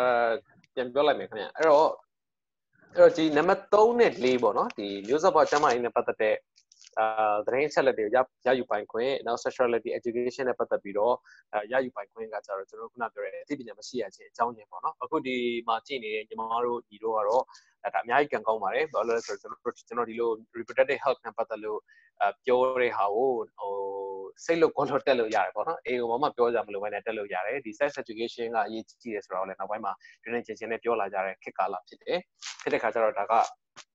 ရိုင်းကိုမှအဆင်ပြေရပေါ့နော်ကျွန်တော်ငယ်ငယ်တော့ဆိုရင်ဒီဟာတွေကိုသိရဖို့ဒီလို stock တွေဖတ်ရဖို့ဒါတွေကိုပြောရဖို့ဆိုတာဒါဟိုတော်တော်ခက်ခဲခဲ့တဲ့အနေအထားမျိုးမှာရှိတာပေါ့ယောက်ျားလေးဆိုလည်းဘာမှမသိဘူး main ကလေးဆိုလည်းပူဆိုးတာပေါ့နော်ဓမ္မတာလာရဲဆိုရင်အနေဘယ်သူနဲ့မှအဲဘာမှသွားပြီးတော့ယောက်ျားလေးနဲ့လပွန်တနီမနေနဲ့တော့နေလို့ရှိရင်နေကုန်ရသွားမယ်ဒီလိုမျိုးပဲတင်ပေးလိုက်တဲ့တင်စားမှုမျိုးနဲ့ကျွန်တော်တို့ကကြီးမြင့်လာရတဲ့အခါကျတော့ဘာမှမသိဘူးကျွန်တော်တို့ဆိုရင်တော့နည်းနည်းကန်ကောင်းတာကဟိုဆေးချောင်းတက်လိုက်တော့တော့တန်ယုံကလူကြီးတွေတိတ်မပြောတော့ဘူးဒါလေးပဲထူးခြားတယ်ကျွန်တော် သူတွေဆိုရင်မသိဘူးမသိရမဲနဲ့ကြီးပြင်းလာကြတဲ့အခါမှာဒီပြဿနာတွေများတာပေါ့နော်အဲ့တော့ဟိုမပြောနိုင်မနဲ့ကိုဝင်ရသွားတာဒါအများကြီးပဲကြုံရတယ်အဓိကတော့ခုနပြောတဲ့အသိပညာမရှိလို့အဲ့တော့ဘာလို့အသိပညာမရှိတာလဲလူငယ်တွေကဟိုចောင်းစာလိုမျိုးတင်နေတဲ့ကြားတွေကလိုက်မလို့လို့အသိပညာမရှိတာလားဆိုတော့မဟုတ်ဘူးအဲအသိပညာရှာဖွေခွင့်ကိုပိတ်ပင်ထားကြတာပေါ့နော်ခုနလိုမျိုးစောက်တီဆိုမဖတ်နဲ့ဒီလိုသင်တန်းတွေဆိုတော့မတက်နဲ့ဟောပြောပွဲဆိုတော့နားမထောင်နဲ့အဲ့ဒါတွေချက်ဆက်ကောင်းတယ်အဲဒီလိုမျိုးတွေနဲ့လောက်ကြတဲ့အခါမှာဒီ sex education နဲ့ပတ်သက်တဲ့ တိတွေအလှမ်းဝေးသွားတယ်ပေါ့နော်ဆိုဒါကတော့ number 3နဲ့4ဖြစ်ပါတယ်နံပါတ်5ကတော့ကျွန်တော်တို့ဗာလဲဆိုတော့ sexually active ပေါ့ sexually active ဆိုတာတကယ်ပြောရရင်ကိစ္စလုပ်မယ်မလုပ်ဘူးကိုဆုံးဆုံးဖြတ်ချက်ချပိုင်ခွင့်ဒီကိုယ်စီမှာပဲရှိရဲဆိုတော့ rights ပေါ့အဲ့တော့အဲ့ဒါလေးကိုသိလိုက်ရင်ယောက်ျားလေးတယောက်က သူကတော့သူ့ရဲ့စိတ်ဆန္ဒအရ main ကလေးကိုသူနဲ့အတူတူနေဖို့တောင်းဆိုချင်တောင်းဆိုမယ်။ဒါပေမဲ့ main ကလေးကညင်းပြီဆိုတဲ့အခါကျရင်ဒါ main ကလေးက right space ဆိုတာမျိုးမြင်ထက်သွားတယ်ပေါ့။အဲကြောင့်ဒီ rights ကိုကျွန်တော်ပြောရတဲ့သဘောကဒီကနှစ်ပိုင်းရှိတယ်။တစ်ပိုင်းကကိုယ့်စီမှာဒီ rights တွေရှိပါလားဆိုတော့သိသွားစေချင်တယ်။ဒါပေမဲ့နောက်တစ်ပိုင်းကသူတစ်ပိုင်းမှာဒီပါလားဆိုတာလေလေးစားပတ်သက်စေချင်တယ်။အဲ့တော့ဒီဟာကိုသိသွားတဲ့ဒီမှာအခုနားထောင်လိုက်တဲ့ယောက်ျားလေးပေါ့နော်။တဲ့ယောက်က ဒါကိုသိသွားတဲ့အတွက်သူဒါကိုတောင်းဆိုလိုက်လို့ main ကလေးကညင်းပြီဆိုလို့ရှိရင်ဒါ main ကလေးကိုလေးလေးဆဆနဲ့ဒါသူ့ရဲ့ rights ပဲဒါသူ့မှာဆုံးဖြတ်ပိုင်ခွင့်ရှိတာပဲဆိုပြီးတော့နောက်ဆုံးမကြိုက်ရင်လို့လမ်းခွဲလမ်းခွဲလိုက်မယ်ဒါပေမဲ့ဟိုဒါသူ့ရဲ့ rights ပဲဆိုပြီးတော့အတင်းကျပ်တောင်းဆိုတာမျိုးမလုပ်တော့ဘူးဒါကိုသိသွားတဲ့ main ကလေးကလည်းဘာဖြစ်မလဲဆိုတော့ယောက်ျားလေးကလာတောင်းဆိုပြီးဆိုတဲ့အခါကျရင်သူ့အနေနဲ့ဒါကိုခွင့်မပြုနိုင်ဘူးဘာလို့ဆိုတော့သူ့ရဲ့တန်ဖိုးထားမှုကဒီကိစ္စတွေကိုဒါသူလက်မထည့်ရသေးဘဲနဲ့မလုပ်ချင်ဘူးဆိုရင်လည်းဒါငါ့မှာညှဉ်းဆန်ပိုင်ခွင့်ရှိရဆိုတဲ့ rights ကိုသူသဘောပေါက်သွားလိမ့်မယ်နော်ဒါကြောင့် ဒီဒီ rights တွေသိဖို့လိုတယ်ဆိုတာအဲ့တော့နံပါတ်5က sexually active ဖြစ်မှာမဖြစ်ဘူးဒီကိုယ့်ရဲ့အခွင့်အရေးပဲဆိုတာလေးကိုသိစေချင်တယ်အဲ့လိုအဲ့တော့အဲ့ဒါသိသွားတဲ့အခါမှာနောက်တစ်ပိုင်းပေါ့နောက်တစ်ပိုင်းကကိုယ်တငယ်ချင်းဟိုကိုကအပြိုစစ်စစ်ပေါ့နော်ဒါကိုယ်တငယ်ချင်းအဲ main ကလေးကတကယ်ချင်း main ကလေးကဒီကိစ္စတွေသူကခွင့်ပြုပြီးတော့ဒီကိစ္စသူလုပ်တယ်တဲ့တယ်မျိုးအပြုံးမစစ်တော့တားစီပဲတောင်းနေတယ်ရေးဖို့စီတောင်းနေတယ်ဆိုရင် ကို့အနေနဲ့ဟာဒီကောင်မလေးပျက်စီးသွားပြီဒီကောင်မလေးတန်ဖိုးမရှိတော့ဘူးလို့မတွေးပဲနဲ့ဒါသူ့ရဲ့ rights ပဲဒါသူကသူ sexually active ဖြစ်ဖို့ကိုသူကသူရွေးချယ်ထားတာပဲဆိုတော့အတွေ့လေးကျွန်တော်တို့ရသွားရင်သူ့ကိုလေးလေးဆဆနဲ့ဆက်ဆံပေးနိုင်မယ်ပေါ့နော်အဲ့တော့ယောက်ျားလေးချင်းချင်းနဲ့ဒီလိုပဲယောက်ျားလေးကနေ main ကလေးကိုဒီလိုပဲဒါသူ့ရဲ့ right space ပဲအတွေ့လေးရှိစေချင်တယ်အဲ့တော့ဟိုကျွန်တော်အစိုးရနဲ့ပြည်သူဆိုလည်းဒီလိုပဲကျွန်တော်ရဲတွေဆိုလို့ရှိရင်ရဲရရှိတွေဆိုလို့ရှိရင်ဘယ်ချိန်ဆိုအလုပ်ရှုပ်လဲဆိုတော့ Valentine Day ဆိုအလုပ်ရှုပ်တယ်တကြံလေးပါလို့ဆိုအလုပ်ရှုပ်တယ်ဘာလို့လဲလဲဆိုတော့ hotel တွေလိုက်စစ်တယ်လိုက်စစ်ပြီးတော့ Valentine Day ဆို hotel တွေတက်နေအဲရေးဖို့စေးတွေမဝင်နဲ့ဆိုပြီးတော့ like ပိတ်ကြတယ်သူတို့ကဘာလဲဆိုတော့ sexually active လုပ်ကြတဲ့ဆိုပြီးတော့ဒီ series ပိတ် hotel တွေပိတ်ပါနော်ဆိုတော့တကယ်တမ်းအဲ့ဒီ series အဲ့ hotel တွေကဒီ Valentine Day မှာပဲအလုပ်လုပ်တာလားဆိုတော့မဟုတ်ဘူးအမြဲတမ်းလုပ်တာပဲဒါပေမဲ့အဲ့ Valentine Day ကျမှမလုပ်ပါနဲ့ဆိုပြီးတော့အတင်းချက်အဲတောင်းဆိုရပေါ့နော်အတင်းချက်လိုက်လုပ်တယ်ပေါ့တကယ်တမ်းကဘာလဲဆိုတော့ဒီ sexual active ဖြစ်မှာဖြစ်ဘူးဒီကျွန်တော်ပြည်သူတယောက်ချင်းစီရဲ့ ဒါဘာလဲဆိုတော့ရွေးချယ်ပိုင်ခွင့်အစိုးရတည်းအနေနဲ့ကဘာလို့အောင်မှာလဲဆိုတဲ့အခါကျတော့အဲဒီလိုမျိုး sex case လုပ်တဲ့လူငယ်တွေနောက်ဆက်တဲ့ပြဿနာမတက်အောင်တို့အရေးပေါ်စိတ်ကြောက်လွယ်လွယ်ကူကူဝယ်လို့ရအောင်လုပ်ပေးမယ်ပေါ့ဥပမာထားပါတော့ hotel တွေလိုက်ပိတ်တဲ့အခါကျလူငယ်တွေဘယ်ရောက်သွားလို့ဆိုခြုံကြားတဲ့ရောက်သွားတယ်သွားတဲ့ခါကျခြုံနဲ့တိုးတဲ့ခါကျတော့မှဗီဒီယိုကိုရိုက်ခံရတယ်ပိုပြီးအချက်ကိုရတယ်ရစရာမရှိအောင်ပြောခံရတယ်ဆိုတော့အဲ့တော့အဲ့ဒါတွေကိုလိုက်ပြီးတော့ပိတ်နေမယ်အစားလူဒါလူငယ်တယောက်ချင်းစီမှာရှိတဲ့ rights ပဲလို့ပြောထားပြီးတော့နောက်ဆက်တဲ့ပြဿနာမတက်အောင် ငါတို့ဘယ်လိုလုပ်ပြရမလဲအဲ့တော့ခုနလိုရေးပေါ်စိတ်ကတွေဝယ်လို့ရအောင်ငါတို့လုပ်ထားပေးမယ်စိတ်ကတွေဝယ်လို့ရှိဆွေးနွေးလို့ရအောင်လုပ်ထားပေးမယ်ဆိုရင်လူငယ်တွေနေတဲ့မျိုးဆက်ပေါ်ချက်မှာပြဿနာတက်တာနေသွားမှာနော်ဆိုတော့ပြောချင်တာကဘာလဲဆိုတော့ဒီ active ဖြစ်မှမဖြစ်ဘူးဒီလူတယောက်ချင်းစီရဲ့ rights ပဲအဲ့လိုအမြင်လေးနဲ့ကြည့်ပေးပြီးတော့မှကျွန်တော်ဒါလုပ်စေချင်တယ်။အဲ့မှာကျွန်တော်စီကိုထားပါတော့ကျွန်တော်ကအာဒီ sex case တွေကိုလက်မထည့်သေးဘဲနဲ့လောက်တာကိုလုံးဝမကြိုက်ဘူးဆိုတဲ့လူပေါ့ကျွန်တော် brand မလုပ်ဘူးပေါ့။စေကန်းလာပြမယ်။လာပြတဲ့အခါမှာလူငယ်တယောက်က ဒီလက်မထည့်ရသေးဘဲနဲ့သူတို့အတူနေထားတယ်တူနေထားတဲ့အတွက်သူတို့အဲရေးဖို့စိတ်ကလာဝင်မယ်ဘယ်လိုသောက်ရမလဲဒါမေးမယ်ဆိုရင်ကျွန်တော်ရဲ့တန်ဖိုးထားမှုကတော့ဒါမျိုးမလုပ်ဘူးဆိုပေမဲ့ဒါမျိုးလုပ်ထားတဲ့ sexually active ဖြစ်တဲ့လူငယ်တယောက်ကိုလည်းကျွန်တော်က professional ပြပြသသနဲ့ဆွေးနွေးအကြံပေးနိုင်ဖို့လိုတယ်အဲ့လိုမဟုတ်ဘဲနဲ့ခုနကလိုမျိုးနေရ sexually active ဖြစ်နေရလားငငယ်လေးနဲ့နေလေအိမ်တောင်လည်းမကြသေးမဲ့နေဒါတွေလို့နေရလားနေတော့ပျက်စီးနေပြီဆိုပြီးအချာရိုက်လိုက်တာဒီဒါပါလဲဆိုတော့ဒီလူငယ်ရဲ့ rights ကိုကျွန်တော်သွားပြီးတော့ချိုးဖောက်လိုက်တာလည်းတူတယ်ပေါ့နော်အဲ့တော့ အဲ့လိုချိုးပေါက်လိုက်တော့ဖြစ်သွားလို့ဒီလူငယ်ကနောက်တစ်ခေါက်ကျွန်တော်စီကံမလာတော့ဘူးမလာတော့ဘဲနဲ့အဲ့တော့သူအပြစ်တင်နေမဲ့စီကံဆိုတော့နောက်တစ်ခေါက်မလာရတော့မလာရတော့ဘဲနဲ့သူပြန်ပြန်လို့လို့ရှိရင်အဲနောက်ဆက်တော့ကိုယ်ဝင်ရပါမယ်ယောဂါတွေရပါမယ်ပေါ့နော်ဆိုတော့ဒီလိုလေးပြင်းစီချင်တယ်အဲ့တော့အဲ့လိုပြောလိုက်လို့ဆိုပြီးတော့ဥပမာတချို့ကြတော့လည်းမေးပါတယ်ဥပမာသမီးမောင်လေးကကျွန်တော်ညီမလေးက sexually active ဖြစ်နေပြီအဲ့တော့ကျွန်တော်ကအဲဘယ်လိုလိုက်ပြောလွတ်ထားမှာလားဆိုတော့ဒီလိုတော့လည်းမဟုတ်ဘူးဒါပေမဲ့မလွတ်ထားလို့လည်း အဲကိုက24နာရီ message တော့ထောက်ကြည့်နေတယ်မဟုတ်ဘူးကိုဘယ်လိုပဲတော့ပြောပြော active ဖြစ်မဲ့လူကဖြစ်မှာပဲပေါ့နော်အဲ့တော့ကိုယ့်အနေနဲ့လုံနိုင်တာကတော့နောက်ဆက်တွဲမှာ main ကလေးဆိုလည်းကိုဝင်ရမသွားအောင်ယောက်ျားလေးဆိုလည်းသူကြီးစားကိုဝင်ရမသွားအောင်ယောဂတွေရမသွားအောင်လိုအပ်တဲ့အသိပညာလေးတွေပေးမယ်ဆိုတော့ shoot out ကကြည့်လို့ရှိရင်တော့ အဲ့ဒီမောင်မောင်လေးညီမလေးလည်းအဆင်ပြေတယ်နောက်ဆက်တဲ့ပြဿနာလည်းနည်းတယ်ကိုလည်းစိတ်ချမ်းသာတယ်အဲ့လိုမဟုတ်ဘဲနဲ့အာနင်တို့ဒီရွယ်နဲ့ဒီလိုဖြစ်နေပြီငါတော့ဒီလိုမဟုတ်သေးဘူးငါသူက main ကလေးရှင်ဆိုပို့ဆိုတာပေါ့ငါသမီးလေးကငါညီမလေးကဒီလိုဖြစ်နေပြီဆိုတော့အတွင်းမျိုးထားလို့ရှိရင်ကိုလည်းစိတ်ပူပန်ရတယ်တားစီလို့လည်းရတဲ့ကိစ္စမဟုတ်တဲ့အပြင်သူနဲ့ကိုနဲ့ကအလှမ်းဝေးသွားတာပေါ့နော်ဘာလို့ဆိုတော့အမငါ့ကိုနားမလည်ပေးပဲနဲ့စုနေပြီတဲ့ခါကျတော့ကိုယ်လည်းမမလာတိုင်မင်းတော့မှမဟုတ်ဘဲနဲ့နောက်ဆက်တဲ့ပြဿနာပို့ပြီးတော့မှတက်မယ်ပေါ့နော်ဒီအတွက် sexually active ဖြစ်တယ်မဖြစ်ဘူးဒီလူတွေအားလုံးမရှိတဲ့ right space ဆိုတဲ့အမြင်လေးနဲ့ကြည့်စေချင်တယ်နောက်တစ်ခုကတော့နံပါတ်6ကတော့ကိုယ့်ရဲ့လက်တွဲပေါ်ရွေးချယ်ပိုင်ခွင့်နော်ဒါကတော့ကျွန်တော်တို့မြန်မာနောက်ပိုင်းမှာတော့ကျွန်တော်တိတ်မကြားမိတော့ဘူးမြန်မာကားတွေထဲမှာတော့ဒါမကြားခဏတွေ့တယ်။ဘာလဲဆိုတော့အဲဒီလူနဲ့ဒီလူကချမ်းသာလို့ဒီလူနဲ့ယူလိုက်အဲဆိုတာမျိုးပေါ့နော်။အမေတို့ကသေတော့မှနှလုံးရောဂါရနေပြီတော့မေအမေမသေးခင်နဲ့သူနဲ့နေရာချပါပေးခြင်းနဲ့ဒါတွေကဘာလဲဆိုတော့ဒါသားသမီးရဲ့ rights ကိုကျွန်တော်ဒါချိုးဖောက်တာပေါ့နော် အချို့နိုင်ငံတွေမှာတော့ရှိအောင်မယ်နော်မြန်မာနိုင်ငံထဲမှာလည်းတချို့ဒေသတွေမှာဆိုရှိရင်ရှိနိုင်သေးတယ်။ဘာလို့ဆိုတော့ဟိုဟိုဟိုအိန္ဒိယမှာဆိုရှိရလေအသက်14နှစ်လောက်ရောက်လာပြီဆိုလို့ရှိရင်ဒီလူနဲ့ယူလိုက်အဲဆိုတော့မျိုးအတင်းကျပ်ဒီ main ကလေးရဲ့စိတ်ဆန္ဒမပါဘဲနဲ့မိသားစုရဲ့ကိုယ်တိတ်ခါအတွက်ပေးစားပလိုက်တာမျိုးတွေပေါ့နော်ဒါတွေကဘာလဲဆိုရုပ်တရက်ဆိုတော့ဒါက culture ပဲရုပ်တရက်ဆိုဒါကဒါဟိုပါပဲပေါ့နော်ဘယ်လိုပြောမလဲအဲ daily ထုံတမ်းမယ်ဒါပေမဲ့တနည်းအားဖြင့် rice ရဲ့ shoot တော့ကြည့်နော်ဒီ main ကလေးရဲ့ လက်တွဲပုံနော်ရွေးချယ်ပိုင်ခွင့်ဆိုတော့ right right to choose the partner ကိုချိုးဖောက်လိုက်တာနဲ့တူတယ်ပေါ့နော်ဒါကနံပါတ်6ဖြစ်ပါတယ်နံပါတ်9နဲ့နံပါတ်10ကတော့ပါလဲဆိုတော့စိတ်ဆန္ဒနဲ့တံပိုးထားမှုများပါဝင်တော့နှိမ့်ဆက်ဆန်ရေးစိတ်ဆန္ဒနဲ့တံပိုးထားမှုများပါဝင်တော့အိမ်တော်ရေးဒါပါလဲဆိုတော့ rights ပေါ့အဲ့တော့ဘာပြောချင်တာလဲဆိုတော့ဒီနေရာမှာအဲ့ rights ကိုချိုးဖောက်ခံရတဲ့လူအများစုကတော့ main ကလေးဖြစ်နေတာများတယ်ဒါပါပြဒါပါပြောရလဲဆိုတော့အာသမီးစားနှစ်ယောက်ပေါ့နော်ခုန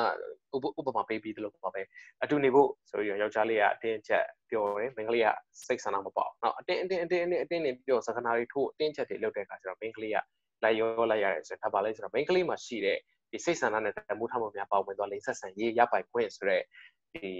rights ကိုယောက်ျားလေးကချိုးဖောက်လိုက်တာဘာလို့ဆိုတော့မိန်းကလေးရဲ့စိတ်ဆန္ဒမပါဘဲနဲ့သူ့အတင်းချက်လိုက်ရောအောင်လို့လုပ်လိုက်တာမျိုးပေါ့နော်။နောက်ပြီးတော့အိမ်တော်ကျသွားပြီနော် နောက်ပြီးတော့တန်ဖိုးထားမှုပေါ့တန်ဖိုးထားမှုဆိုတဲ့သဘောဘယ်လိုလဲဆိုတော့ဥမာတချို့ main ကလေးတွေပေါ့နော်ကျွန်တော်တို့အာကျွန်တော်ကျတော့ဒါ post တွေလေးရေးတော့ကျွန်တော်အများကြီးလာအောင်တိုင်ပင်ကြရလေးရှိတော့ main ကလေးတယောက်ကအပြိုမဆက်တော့ဘူးပေါ့နော်သူအရင်ရေးစားနဲ့ဒီကိစ္စတွေရှိဘူးတယ်ရှိဘူးတဲ့ခါကျတော့နောက်ရေးစားတယောက်ရတဲ့ခါကျတော့သူကရိုးသားသားပုံပုံလေးလေးပဲပြောတယ်အေးငါတော့အရင်ရေးစားနဲ့ဒီလိုကိစ္စလေးရှိခဲ့ဘူးတယ်နည်းအဆင်ပြေလားဆိုတော့ဟောက်လေးကပြေတယ်ပေါ့ဘာဘာဆန်းလဲအဲဆိုအေးစစ်စစ်ပဲဆိုတော့သူစိတ်ထဲမှာအော်ဒီကောင်လေးကငါညာသဘောထားကြီးတာပဲပေါ့နော်ငါ့ကိုဒီလိုမျိုး ဒီလိုဖြစ်ခဲ့ဘူးတာတော့ဆက်ချင်နိုင်သေးတယ်ပေါ့အဲသူစိတ်ထဲမှာအမှတ်တွေပေးထားပြီးလေပြီးတော့အဲ့ access case တွေဖြစ်လာတယ်တော့ဖြစ်တောင်းဆိုတာတောင်းဆိုတော့ကောင်မလေးကအရင်ဖြစ်ဘူးလေဆိုတိုင်းဒီကိစ္စကိုလိုက်ရောကိုရောနေမယ်လို့ပြောလို့မရဘူးလေရင်းရင်တော့ကတော့သူ့ရဲ့ဟိုအကြောင်းကြောင့်ကြောင့်လိုက်ရောလိုက်ရောကျင်လိုက်ရောခဲ့ပြီအခုချိန်မှာသူဒါထပ်ပြီးတော့လိုက်ရောကျင်တော့လည်းဖြစ်ဖြစ်နိုင်တယ်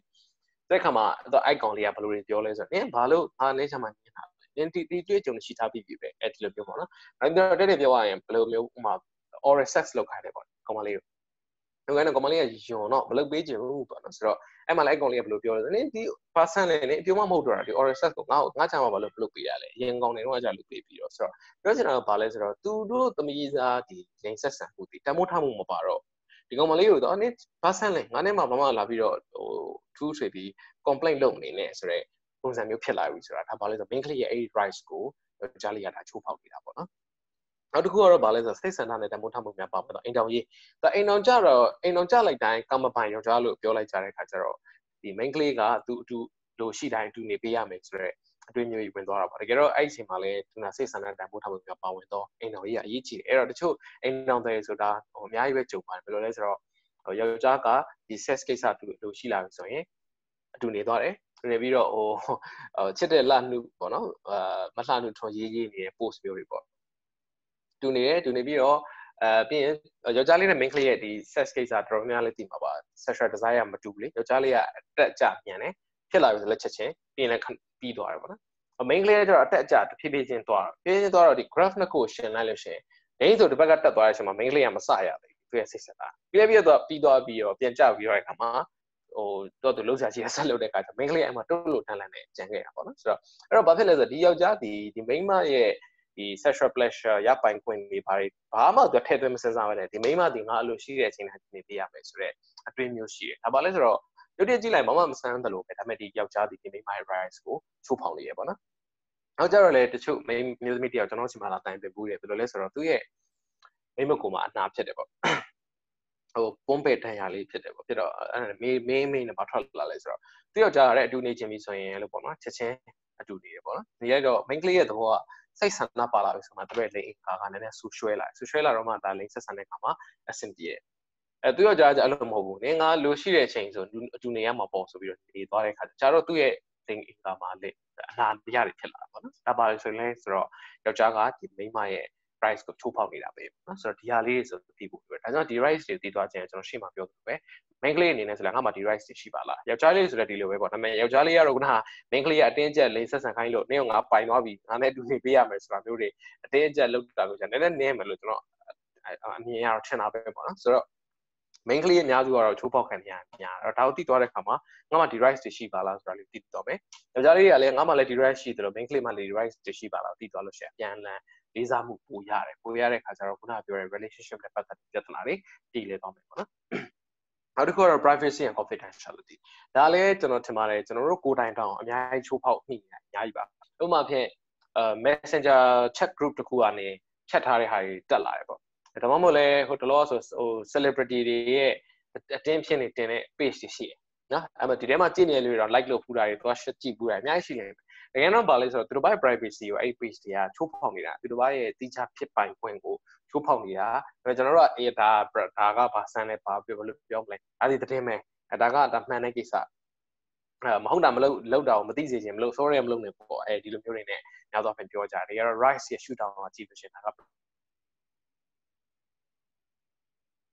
သမီးတယောက်မင်းသမီးတစ်လက်ရဲ့ ဗီဒီယိုဇာကာထွက်လာရဆိုလဲအာပြောဘောကြီးပဲကြည်ကြလှောင်ကြပြောင်းကြနှောက်ကြအေးစစ်စစ်ပဲဘာတကယ်တော့ဘာလဲဆိုတော့သူတို့ဘာရဲ့ rights ကိုကျွန်တော်ချိုးဖောက်နေတာပေါ့နော် privacy ဆိုတဲ့ rights ပေါ့ confidentiality ကတော့ဘာလဲဆိုတော့ကိုသိထားတဲ့ဟာတွေကိုရက်တကနေပြီးတော့မပြောတာပေါ့တဲ့တဲ့ပြောပါလို့ရှိရင်ဥပမာကျွန်တော်စီကို main click တယောက်လာတိုင်ပြန်အကောင့်စင်တယ်အဲသူဒီလိုဒီလိုလေးဖြစ်တယ်ဒီလိုဒီလိုရှိတယ်ဆိုကျွန်တော်အဲ့ဒါကိုရက်တကလဲပြီးတော့ပြောနေမယ်ဒါမှမဟုတ်လေသူ့ရဲ့ဓာတ်ပုံကြီးနဲ့သူ့အကောင့်ရဲ့ screenshot ရိုက်ပြီးတော့ကျွန်တော်ပြန်ပြောနေမယ်ဒါမှမဟုတ်လေ အတူ post အောက်မှာသွားပြီးတော့ comment ပေးမယ်သမီးညီမလေးဟိုတစ်ခါလာတိုင်ပင်ထားတဲ့ဟိုကိစ္စဆင်ပြီးသွားပြီလားဆိုလို့ရှိရင်တေးရပေါ့နော်ကိုကသွားပြီးတော့ယုံကြည်ခြင်းနဲ့ပြောထားတဲ့ဒါကကျွန်တော်တို့ medical professional တွေမှာတော့ဒီဟာကကျွန်တော်တို့ ethic ဖြစ်တယ်တချို့ဆိုစိတ်ပူပြီးတော့လာပြောတာပါသမီးမိထားတဲ့ဟာဘယ်သူမှပြန်မပြောပါနဲ့တော့ဒီကတော့ကျွန်တော်ရဲ့ ethic ကျွန်တော်ဘယ်သူမှပြန်ပြောပိုင်ခွင့်မရှိဘူးဥပမာအဲကျွန်တော်အတိအတော်ကြီးတယောက်ရဲ့သမီးလေးကကျွန်တော်လာပေးမယ်ရေးပေါ်စိတ်ကဘယ်လိုတော့လဲအကိုလာပေးထားရင် အဲ့ဒါကိုကျွန်တော်ကအာဒီကောင်မလေးကပြည့်စည်နေပြီနောက်နေ့ကျတော့အဲ့အန်တီနဲ့တွေ့လဲတွေ့အန်တီအန်တီတတိကိုတေချာထင်းကိုကျွန်တော်စီကိုလာပြီးတော့ရေးပေါ်စိတ်ကလို့တော့အောင်လဲလားမင်းနေရဲ့ဆိုရင်ဒါခဲရောပါလဲဆိုတော့စေနာနဲ့ပြောလိုက်တာလို့လူတွေကပြောကြတာပဲဒါပေမဲ့ right shoot down ကကျင်းတော့ကျွန်တော်ကအဲ့ link လေးရဲ့ confidentiality ပေါ့နော်သူ့ရဲ့စိတ်ချလက်ချကျွန်တော်လာပြောထားတဲ့ show မှချက်ကိုကျွန်တော်ကသွားပြီးတော့မထိမ့်သိမ့်မင်းနဲ့သူရောက်ပြောလိုက်တာဆိုတော့ချိုးဖောက်ပဲရောက်ပါတယ်ဒါကြောင့်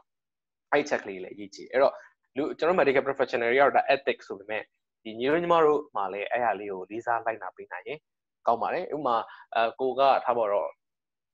ဟိုနမူနာပေးရရင်ကိုက hotel တစ်ခုမှာတင်နန်းတစ်ခုတက်ဖို့ရောက်နေတယ် ESC 1DB program တက်ဖို့ရောက်နေဆိုတော့နော်အဲ့မှာ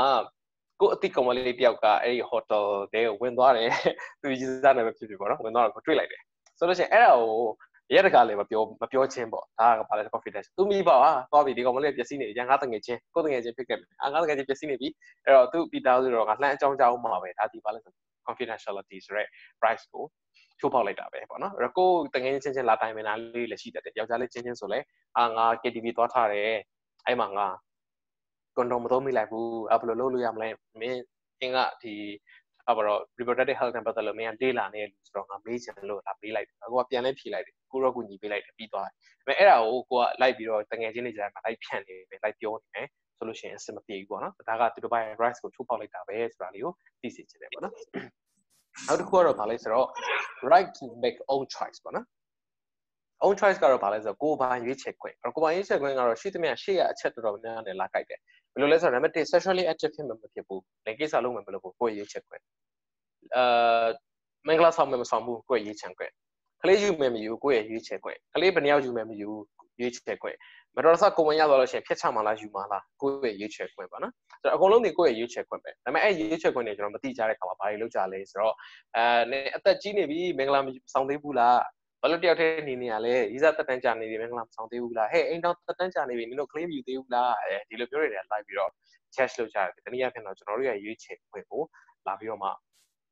အချိုးဖောက်လိုက်တာပေါ့နော်အဲ့တော့ကျွန်တော်တို့ငငယ်တုန်းကတော့ကျွန်တော်တို့လည်းတွေးပါတယ်အမကြီးစားထားမယ်အဲနှစ်ကာလတခုကြာရင်မင်္ဂလာဆောင်မယ်ကလေးယူမယ်ကလေးကြီးလာမယ်ကိုမိဘတွေလုပ်ခဲ့ကြတဲ့ပုံစံအတိုင်းပဲအကုန်လုံးကတတသွေးမတိန်လောက်ကြရမှာပဲဆိုတဲ့အတွေ့အကြုံရှိတယ်။တကယ်တကယ်အသက်တွေကြီးလာတဲ့ခါကျတော့တချို့ intentionally ပေါ့ရည်ရွယ်ချက်နဲ့ကိုကလေးမယူတာမရလို့မယူတာမဟုတ်ရည်ရွယ်ချက်နဲ့ကိုမယူတဲ့သူတွေရှိတယ်။ဒါသူ choice ပဲအဲ့ဒါကိုကျွန်တော်ကအဲနင်တို့အိမ်တော်တန်းကြနေမယူသေးဘူးလားတော့ပြောလို့မရဘူးလေ။အချို့ကျတော့လေကလေးမများလို့ရှင်တယ်အဲ့တော့ဟာမရဘူးနင်တို့ဟို short ယူမှ David Beckham လို့ပြောဆို၄ယောက်၅ယောက်အဲ့လိုမျိုးကြီးကြတာလीနော်ဆိုတော့အဲ့ဒါမဟုတ်ဘူး short ယူဒီလိုတော့ပြောလို့မရတော့သူရဲ့သူတို့ညောက်ဆင်ပြေဆိုတာသူတို့ရဲ့ choice ပဲပါနော်ဆိုတော့အဲ့လို shoot down လေးနဲ့ကြည့်စီခြင်းနဲ့သူတို့ဘာရဲ့ choice တွေကိုသွားပြီးတော့ အကဲဖြတ်တာတွေတခုခုတိုက်တွန်းတာတွေเนาะဟိုဝေဖန်တာတွေမလုပ်ကြစီချင်ဘူးအဲ့ဒါတွေဒီလည်းတတိယဖြစ်ပြောရရင်အဲသူတို့ဘာရဲ့ rights ကိုချိုးဖောက်တာပဲနောက်ဆုံးနောက်တစ်ခုတော့เนาะနောက်ဆုံးဖို့ဒီနောက်တစ်ခုကတော့ကျွန်တော်ဗာလဲ gender equity ပေါ့ gender equity ကတော့ကျားမတန်းတူညီမျှမှုရပိုင်ရပိုင်ခွင့်နော်အဲ့အဲ့ဒါတော့ဘာကိုပြောချင်တာလဲဆိုတော့ equality ဆိုတာကတော့ညီတာပေါ့နော်အကုန်သွားတာ equity ကတော့အဲ့လိုညီဖို့အတွက်ထည့်စဉ်းစားရတဲ့ approach ပေါ့အဲ့ဒါကိုကျွန်တော် equity လို့ခေါ်တယ်မြင်သားတဲ့နမူနာပြောရရင်ကျွန်တော်တို့ သင်တန်းသူသင်တန်းသားတွေပေါ့နော်အဲ့ဒါကိုကျွန်တော်တို့ ESC 1TP နဲ့ t-shirt ဝေမယ်ဝေလို့ရှိရင်အကုန်လုံးအင်ကြီးချွတ်လဲလိုက်ကြခုအခမ်းပါတယ်မှာနော်အကုန်လုံးစင်တူဖြစ်သွားအောင်ချွတ်လဲလိုက်ကြလို့ပြောရင်ယောက်ျားလေးတွေလဲလို့ရတယ်။ဒါဆိုတော့ကျွန်တော်တို့ယောက်ျားလေးတွေအင်ကြီးချွတ်လိုက်လို့ကျွန်တော်တို့ရင်သားတော့ရှိတယ်ဒါပေမဲ့ဒီရင်သားတွေရှက်စရာမဟုတ်ဘူးလို့ကျွန်တော်တို့လူသားပဲယူဆတာယူဆထားတဲ့အတွက်ချွတ်လဲလို့အဲ့ဒီပြင်ဘယ် main ကလေးမှလည်းမျက်စိထောက်ထောက်ပြီးတော့ကြည့်မနေဘူး။နော်ကျွန်တော်ရဲ့ရင်သား ဆိုတော့ဘာလို့ရှက်စရာမဟုတ်အဲ့တော့လဲလို့ရတယ်။ main ကလေးကျတော့အဲ့လိုချွတ်လဲလို့ရလားမရဘူး။ဘာလို့လဲဆိုတော့ရင်သားတွေရှက်စရာကောင်းတယ်လို့ယူဆတဲ့အတိုင်းဝိုင်းဖြစ်တယ်။ခုနရှက်မျက်စိတောက်ထောက်ကြည့်နေမဲ့လူတွေလည်းရှိတယ်။ဆိုတဲ့အခါကျတော့လဲလို့မရလဲလို့မရတော့ဘာလုပ်ပေးရလဲဆိုတော့ main ကလေးတွေအတွက်တီးထန်ဝင်လဲခန်းစီစဉ်ပေးရတယ်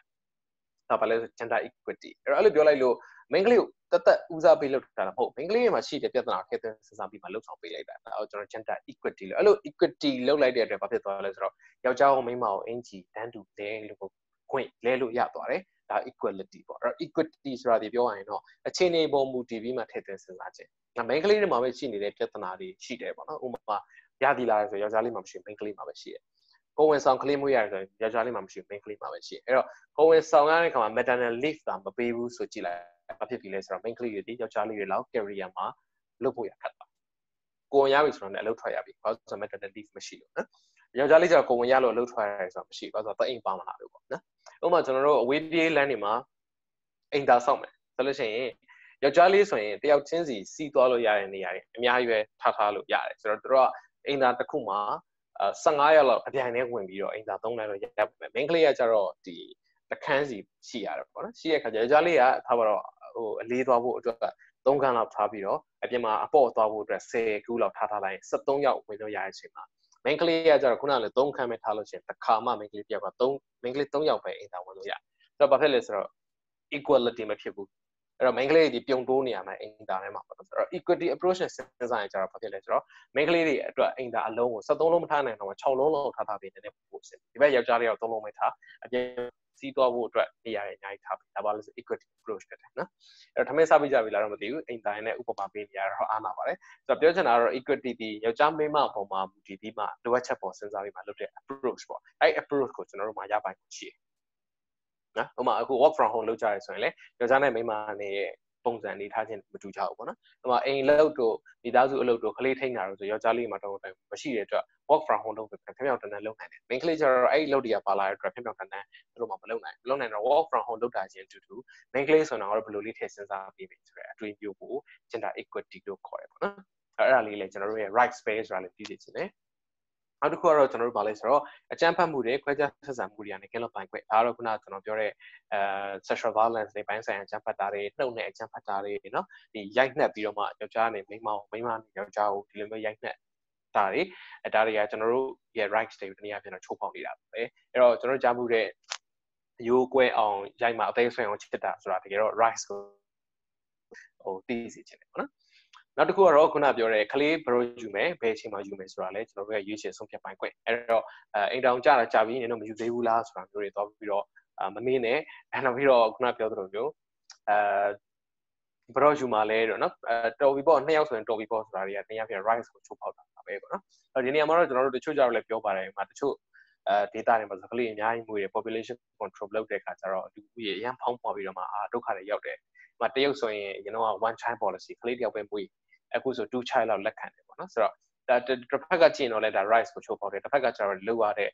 လုတ်တင်လုတ်ထိုက်တဲ့ population control ဆိုတာတော့ရှိသေးတာပေါ့ဒါပြောချင်တာ rights လို့ပြောလိုက်တိုင်းကတော့အဲ့ issue တွေကတော့ဝိဝါဒကွဲကြရတော့အများကြီးပဲပေါ့နော်အဲ့မှာထားပါတော့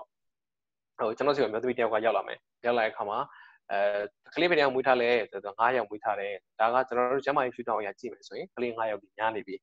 ထက်မယူတင်တော့ဘူးပေါ့နော်အဲ့တော့မှ तू ကထက်ယူခြင်းနဲ့ဆိုရင်လည်းကျွန်တော်အနေနဲ့ကဟို rice ကိုကြည့်ပြီးတော့ယူပါလို့ပဲပြောရတာပဲဒါပေမဲ့ကျွန်တော်ကတော့ကျမကြီးရှူတောင်းရတော့ယူသင့်တော့ဆိုတဲ့ information ကိုတော့ပေးကိုပေးရတယ်ပေါ့နော်အဲ့လိုပဲကလေးတယောက်မွေးလိုက်တယ်ဆိုရင်အနေလေးနှစ်နှစ်နားရတယ်နှစ်နှစ်ချားပြီးမှနောက်တစ်ယောက်ထပ်ယူရတယ်အဲ့လိုမဟုတ်ဘဲနဲ့သူက6လလောက်နဲ့ထပ်ယူခြင်းလို့ပါဆိုရင်ကြတော့ဒါသူ rice ပဲဆိုပေမဲ့ကျွန်တော်ရဲ့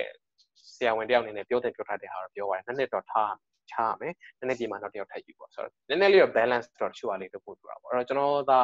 အရင်လူကြီးဖုံးပွားနေတဲ့နိုင်ငံတခုရဲ့သမ္မတဖြစ်ခဲ့ရင်လည်း rights ပဲလေယူခြင်းလို့ယူကြလို့တော့လုပ်လို့မရဘူးခုနပြောတဲ့ policy တွေ population control တွေလုပ်ကောင်းတော့လုပ်ရမှာပဲဒါပေမဲ့တိုးတော့ကျွန်တော်တို့အဲ့လောက်ထိဖြစ်မနေတဲ့အခြေအနေမျိုးတွေမှာတော့ rights ကိုချိန်ပြပြီးတော့စဉ်းစားကြည့်ချင်တယ်ပေါ့နော်အရင်ဆင်းရဲနှမတဲ့အဲစတီဗင်ကဝန်တန်းပေါ့အရင်အာတနေ့လုံးမှတနေ့စားရတယ်ဆိုတော့ဝန်တန်းကကလေး 3ယောက်လောက်ထပ်ယူဖို့စိတ်ကူးနေတယ်ပေါ့နော်ဆိုလို့ရှိရင်ဒါပြောတင်ပြောထိုက်တာတော့ပြောရတာပေါ့ဒါပေမဲ့အဲ့လိုမဟုတ်ဘဲနဲ့လာနေပတ်စံမရှိတော့လာခဲ့ခွဲကန်းနဲ့အတင်းအကျပ်ခေါ်သွားပြီးတော့သားကြောဖြတ်ပေးထက်လိုက်ပြောကြတော့မလုပ်တယ်ဘူးပေါ့နော်ဆိုတော့အဲ့လိုမျိုးလေးတော့ balance နဲ့လုပ်လုပ်ပါတယ်နောက်ဆုံးတစ်ချက်ကတော့ကျွန်တော်ဗာလဲဆိုတော့ safe and pleasurable sexual life ကိုရပိုင်ခွင့်ရှိပါတယ်အဲ့ဒီချက်ကအဲခုနပြောရဲမလှလူထုံးနေမှာနမူနာပေးရရင်သူ့အောက်မှာအဲစိတ်နေကြ comments တွေတော့ပြီးတော့ကြည့်ကြည့်ရင်အဲ့ဟာကိုလူတွေက လက်မခံနိုင်ကြဘူးဆိုတာလေးတွေ့ရပါလိမ့်မယ်ပေါ့နော်ဆိုတော့ဒီ plat ကျွန်တော်ဟို Melon တို့ထောက်ခံနေရမဟုတ်ဘူးเนาะပြီးတော့ဟိုသူ့ fan လည်းမဟုတ်ဘူးဟိုတချို့ post တွေလည်းအဆင်ပြေရပါတော့တချို့ post တွေလည်းကျွန်တော်တို့လည်းသဘောမကျဒါတော့ရှိပါလိမ့်မယ်ကျွန်တော်ပြောချင်တာကဘာလဲဆိုတော့ flash server social life ရှိပါတယ်ဆိုတော့ရပိုင်ခွင့်ကိုသူတွေကလက်မခံကြအောင်လို့ပြောချင်တာဥပမာထားပါတော့ကျွန်တော်ဖုန်းထဲမှာအပြာကားတွေ့မယ်ဆိုပါတော့နော်ဘယ်လိုချိန်ဘယ်လိုဘယ်လိုဟာကြည်ရင်အဲဟိုဘာလို့ခေါ်မလဲ စာစာရေးဆရာလုပ်နေပြီဒီလိုကားကြီးကြည့်ရလားပေါ့နော်ဒါမျိုးဖြစ်မှာပေါ့နော်တော့မှလည်းမိန်းကလေးတယောက်ရဲ့အိမ်ထဲမှာလိန်တန်အတုပေါ့ vibrator တွေ့မယ်ပေါ့နော်ဒါမှမဟုတ်လည်းလိန်တန်အတုတွေ့ရင်မိန်းကလေးချင်းချင်းဘယ်လိုထင်မလဲဟဲ့ဒီလားမိန်းကလေးဖြစ်ပြီးတော့ဒါတွေလောက်ရလာပေါ့နော်ဆိုတော့အာ လူကြီးတယောက်အသက်ကြီးလာပြီ60 90လောက်အရွယ်ရောက်လာပြီဆိုကျွန်တော်စိတ်ထဲမှာဘယ်လိုထင်လိုက်လဲဆိုတော့အာဒီလူကြီးဒါတရားဓမ္မလေ့လာလိုက်စားမှအရွယ်ရောက်သွားပြီ65 90ဆိုတော့အဲ့တော့ရိတ်တာပို့အဲတရားစကန်တော့အဲဘောပကအဖွဲဝင်လို့အဲဒီလိုမျိုးပြောတယ်ဒါပေမဲ့တကယ်တမ်းသူတို့စိတ်ထဲမှာအဲ့စံသားတွေကရှိနေသေးတာပဲဒါပေမဲ့ကျွန်တော်တို့ကလုံးဝဒါကိုလက်မခံကြဘူးအဲ့တော့ကျွန်တော်ဆရာတယောက်ရေးတဲ့ဟိုကျွန်တော်စာအုပ်ထုတ်တဲ့အခါကျတော့အဲ့စာအုပ်ရဲ့အမှားစာလေးမှာကျွန်တော်ဆရာတယောက်ကရေးတယ်ဘာလို့လဲနိုင်ငံခြားမှာတဲ့အဖိုးကြီးတယောက်စေကန်းလာပြတယ်ဆိုရင်တဲ့ အဲဆရာဝန်ကဆေးပေးလိုက်တယ်ဆိုရင်သူကပြန်မေးရပေါ့ဟိုလူကြီးကအဖိုးရံမေးရဗာမေးလဲဆိုတော့ဒီဆရာပေးလိုက်တဲ့ဆေးရတဲ့ကျွန်တော်အရင်ပေါ့နော်ဒီလိမ်မှုဆိုင်ရာစွမ်းဆောင်ခြင်းမှာအနောက်အချက်များဖြစ်မလားဆရာပေါ့နော်သူမစွမ်းဆောင်နိုင်တော့တာစိတ်မပါတော့တာများဖြစ်မလားပေါ့ဆိုပြီးတော့မေးတယ်တဲ့ပြီးတော့အဲ့လိုစဉ်းစားကြည့်ပေါ့နော်အဲ့လိုမေးခွန်းလာကျွန်တော်မြန်မာပြည်မှာကျွန်တော်မေးခံရကျွန်တော်ဆေးတစ်ခုပေးလိုက်တယ်အဲ့တော့အဲ့လူနာအဖိုးကြီးကအဲ့လိုမေးခွန်းများမေးကျွန်တော်စိတ်ထဲဘယ်လိုထင်မလဲနော်ဆိုတော့အာဒီဖိုးကြီးဒီရွယ်ရောက်နေပြီဒီစိတ်တွေပကုံသေးဘူးဆိုတာမျိုးပဲကျွန်တော်တို့က ပြောချလိုက်တာပြောချင်တာဒီ sex case စဒီဟိုရှက်ဆရာကောင်းတယ်အဲဘယ်လိုပြောနောက်ပြီးတော့ဒီဒါတွေကိုလိလို့ဟိုဟိုဒီ pleasure တွေကိုလိုချင်တဲ့သူတွေကိုယ်ချက်တဲ့ခါမကောင်းတဲ့သူတွေအဲဆိုတာမျိုးတွေအမြင်မျိုးကကျွန်တော်မြန်မာလူမှုတိုင်းမှာတော်တော်များများမှာရှိတယ်ရှိတော့ဘာဖြစ်လဲဆိုတော့ဒါတွေကိုဖုံးကွယ်ထားရတယ်ဖုံးကွယ်ထားတဲ့အခါကျတော့မတော်လို့ထွက်ပေါက်တွေ ပေးလို့ရပြီဆိုတဲ့အခါကျတော့ထပ်ပေါက်တွေအများကြီးပေးပြကြအဲ့တော့အိမ်တော်ရေးဖောက်ပြန်မှုတွေဖြစ်တယ်နောက်ကျွန်တော်တက်ငယ်မနေမှုတွေရဲ့ရာခိုင်နှုန်းတချို့ကလည်းဒါနဲ့လာချိတ်ဆက်တယ်ခုနအဖိုးကြီးတွေက pleasure versus sexual life ကိုလိုချင်ရက်နဲ့မရတော့ဘူးအဲ့တော့တိမ်လုံးကရိတ်တာပဲသွားခိုင်းတရားစကန်ပဲသွားခိုင်း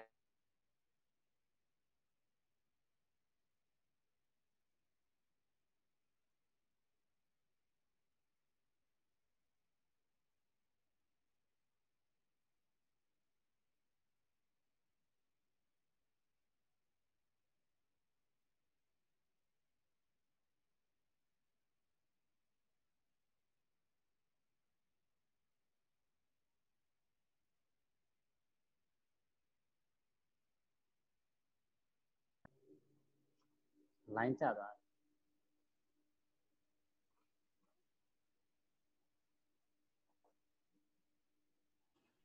ဒီနေ့ကန်ကောင်းတယ်ဘာဖြစ်လို့လဲဆိုတော့သူတို့ဘက်ကနေတော့အခုတို့ gift sorry ပါ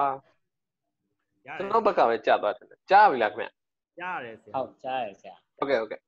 ပြီးတော့မှာပဲအဲ့တော့ခုန pleasure versus sexual life ကို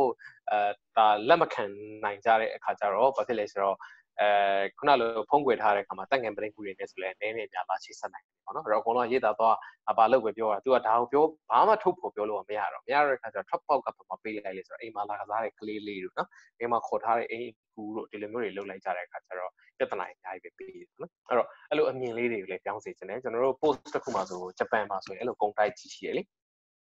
ရှိတော့ဒါဒီ sex case ကလည်းဟိုစိတ်ဝင်စားရင်လေ့လာကြည့်ပေါ့နော် အဲမျိုးမျိုးသူရှိသေးတယ်ကျွန်တော်တို့မယိုးကြထင်ကြတယ်ဩယောက်ျားမိန်းမအာဝါဟာပြီးတော့ဟာပြုကြတယ်ဒီလိုမျိုးပဲဆိုတာတခြားတွေအများကြီးရှိတယ်ဥပမာအာကိုယ့်ရဲ့ဆက်ဆံဘက်ကိုရိုက်နှက်မှရိုက်နှက်ပြီးတော့နော်လောက်အောင်မှချိန်နှက်တဲ့လူအုပ်စုရှိတယ်အချို့ကြောင့်လည်းပြောင်းပြန်အဲ့လိုအရိုက်နှက်ခံရမှနာကျင်ရမှ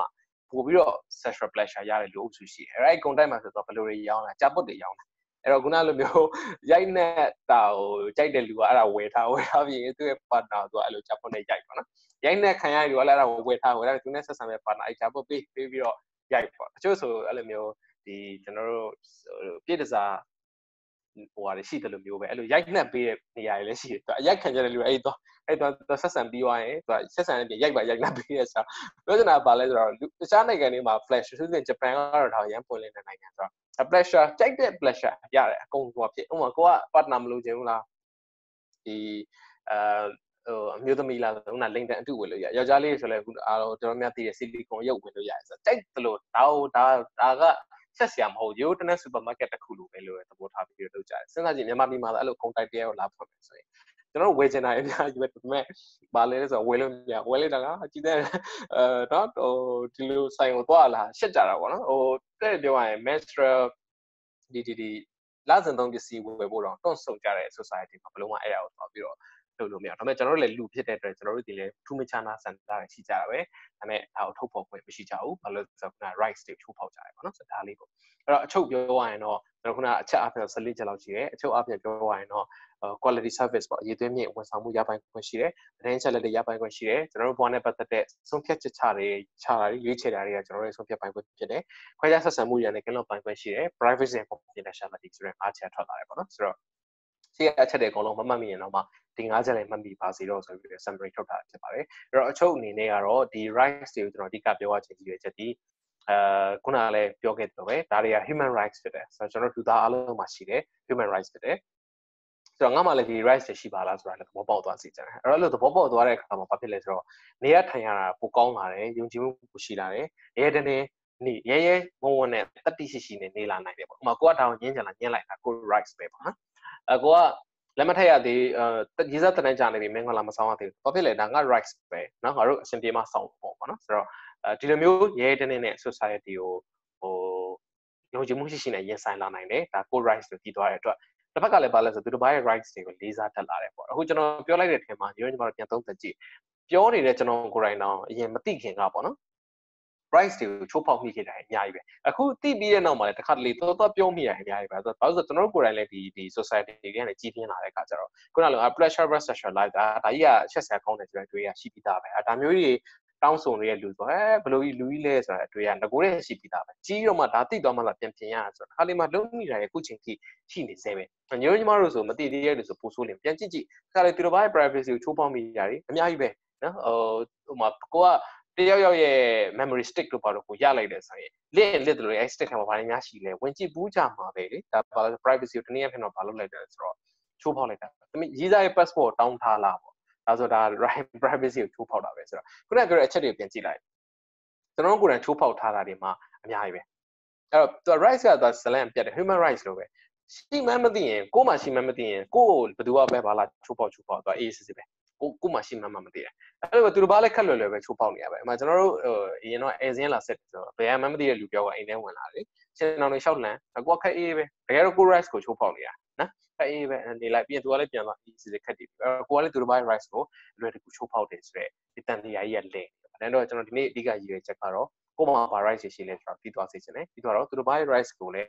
အဲလေးစားတက်စေချင်တယ်အဲ့တော့ကိုချိုးပေါက်နေရတဲ့အများကြီးပဲရှိလိမ့်မယ်ကျွန်တော်ခုနပြောတိုင်းနားထောင်ကြည့်လိုက်တဲ့အခါမှာဒါပေမဲ့အဲ့ဒါလေးကိုဒီနေ့ကနေစပြီးတော့တက်နိုင်တော့ short ချသွားမယ်ဆိုရင်ကျွန်တော်ရဲ့ society ကညင်နဲ့ညင်အောင်ကြည့်လိုက်ပေါ့တအားကြီးပျော်စရာကောင်းလာမှာအာ discrimination တွေလည်းမရှိတော့ဘူး။တရားရောက privacy ချိုးဖောက်ခံရတယ် privacy ဖောက်တဲ့လူကိုပဲဝိုင်းဆဲကြတော့မယ်။ ဒီဖောက်ခံလိုက်ရလို့ဟို messenger တွေက message တွေဖြန့်ခံလိုက်ရတဲ့သူဆဲတာညော့သွားမယ်ပေါ့နော်။ဆိုတော့ account hack ခံလိုက်ရတယ်ဆိုတာအာသူသတင်းတွေကငါတို့သိရပြီဆိုပြီးပြောမနေတော့ဘယ်နဲ့ account hack တဲ့ဟာကိုသွားပြီးတော့မှပြောတာမျိုး။အဲ့တော့မင်းသမီးတွေ video ထွက်တယ်ဆိုတော့တစ်ကမ္ဘာလုံးမှာရှိတယ်။ဒါပေမဲ့အာ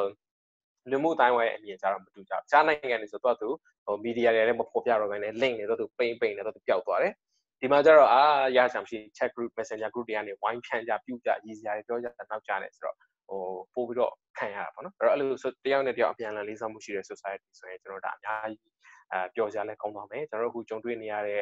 chat လောက်တာတွေကဲ့ရတာတွေ violence လောက်တာတွေနှုတ်နဲ့စော်ကားလိုက်တာအများကြီးပဲပြောကြသွားမယ်ပေါ့နော်ဒီအတွက်ကျွန်တော်ဒီ ESC 1TV program ရဲ့ပထမဆုံး session မှာ rights အကြောင်းဝင်ရတာဖြစ်ပါတယ်။အဲညညီမတို့လည်းကျွန်တော်ပေးလိုက်တဲ့ PowerPoint file လေးကိုပြန်ကြည့်ပြီးတော့အဲကိုမှဒီ rights ရှိပါလားဆိုတာလေးကိုသိသွားစေချင်တယ်။နောက်သူတစ်ပိုင်း rights ကိုဒီနေ့ကစပြီးတော့ပေါ့နော်။အရင်ထက်ဆိုင်ပို့ပြီးတော့မှလေးလေးဆက်ဆက်နဲ့ဆက်ဆက်လာနိုင်မယ်လို့ပြောနေပါတယ်။ဟုတ်အဲကျွန်တော်ဝေမျှမှုကတော့ပြီးပါပြီကျွန်တော်ဒီနေ့အတွက်ပေါ့နော်အဲ့တော့မေးချင်တဲ့မေးခွန်းလေးတွေများရှိလားအဲ့တော့မဟုတ်ရင်နောက်တစ်ဖက်မှာရောဖြေရမလားဘယ်လိုလေးများလုပ်အောင် ဟုတ်ဘာတွေများမေးကျင်လဲမသိဘူးများအားလုံး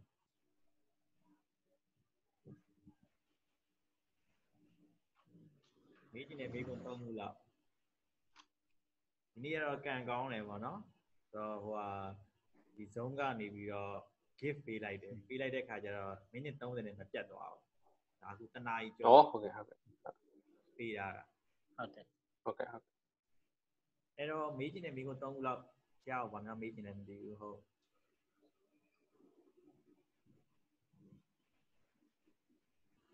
ရှိလားမေးကျင်တယ်မရှိတော့ဟိုပါလေဟုတ်ကဲ့ဟို messenger ဟို sorry facebook group ရှိရလားအဲဒီဟာက Facebook group က chat group တော့မရှိဘူးဟုတ် chat group တော့မရှိဘူးဟုတ်လေ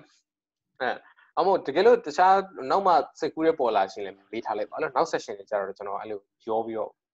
ဖြည့်ပြလိုက်လေနော်ဒီလိုရဲ့တစ်ချင်းမပေါ်သေးပညာရတဲ့အောက်မှာလည်းကိုမေးခိုင်းလိုက်မယ်လေဟုတ်မေးစရာရှိတဲ့ဟာဘူးဟုတ်ကဲ့ဟုတ်ကဲ့နော် ဟုတ်ကဲ့ဟုတ်ကဲ့ပါဟုတ်အဲ့တော့အားလုံးကျေးဇူးအများကြီးတင်ပါတယ်ကိုဆိုလည်းကျေးဇူးတင်ပါတယ်ကဲ့ကျေးဇူးပါခင်ဗျအားလုံးနော်ဟုတ်ကဲ့နည်းနည်းလေးပြတ်တောင်းတက်တောင်းဖြစ်သွားတယ်လေးအတွက်လည်းတောင်းပန်ပါတယ်လို့နော်ဟုတ်ဟုတ်ကဲ့ကဲ့ပါတယ်ကိုဆိုဟုတ်ကျေးဇူးပါဆရာဟုတ်ကဲ့ကျေးဇူးပါ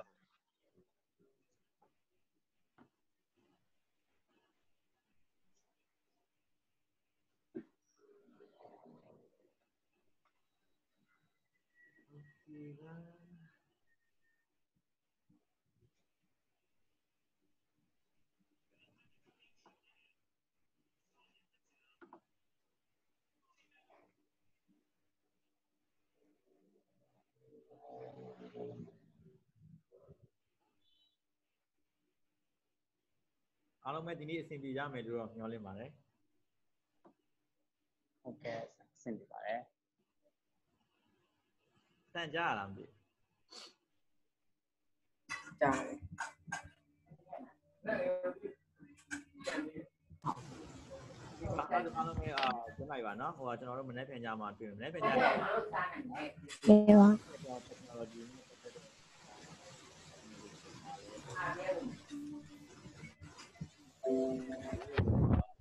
။ကြာတယောက်ကိုလည်းကျွန်တော်တို့ဖိတ်ခေါ်ပါပါ။ဒီလည်းကျွန်တော်ဒီပါနော်။ဟုတ်ပါ။ဟုတ်ပါ။ Gracias.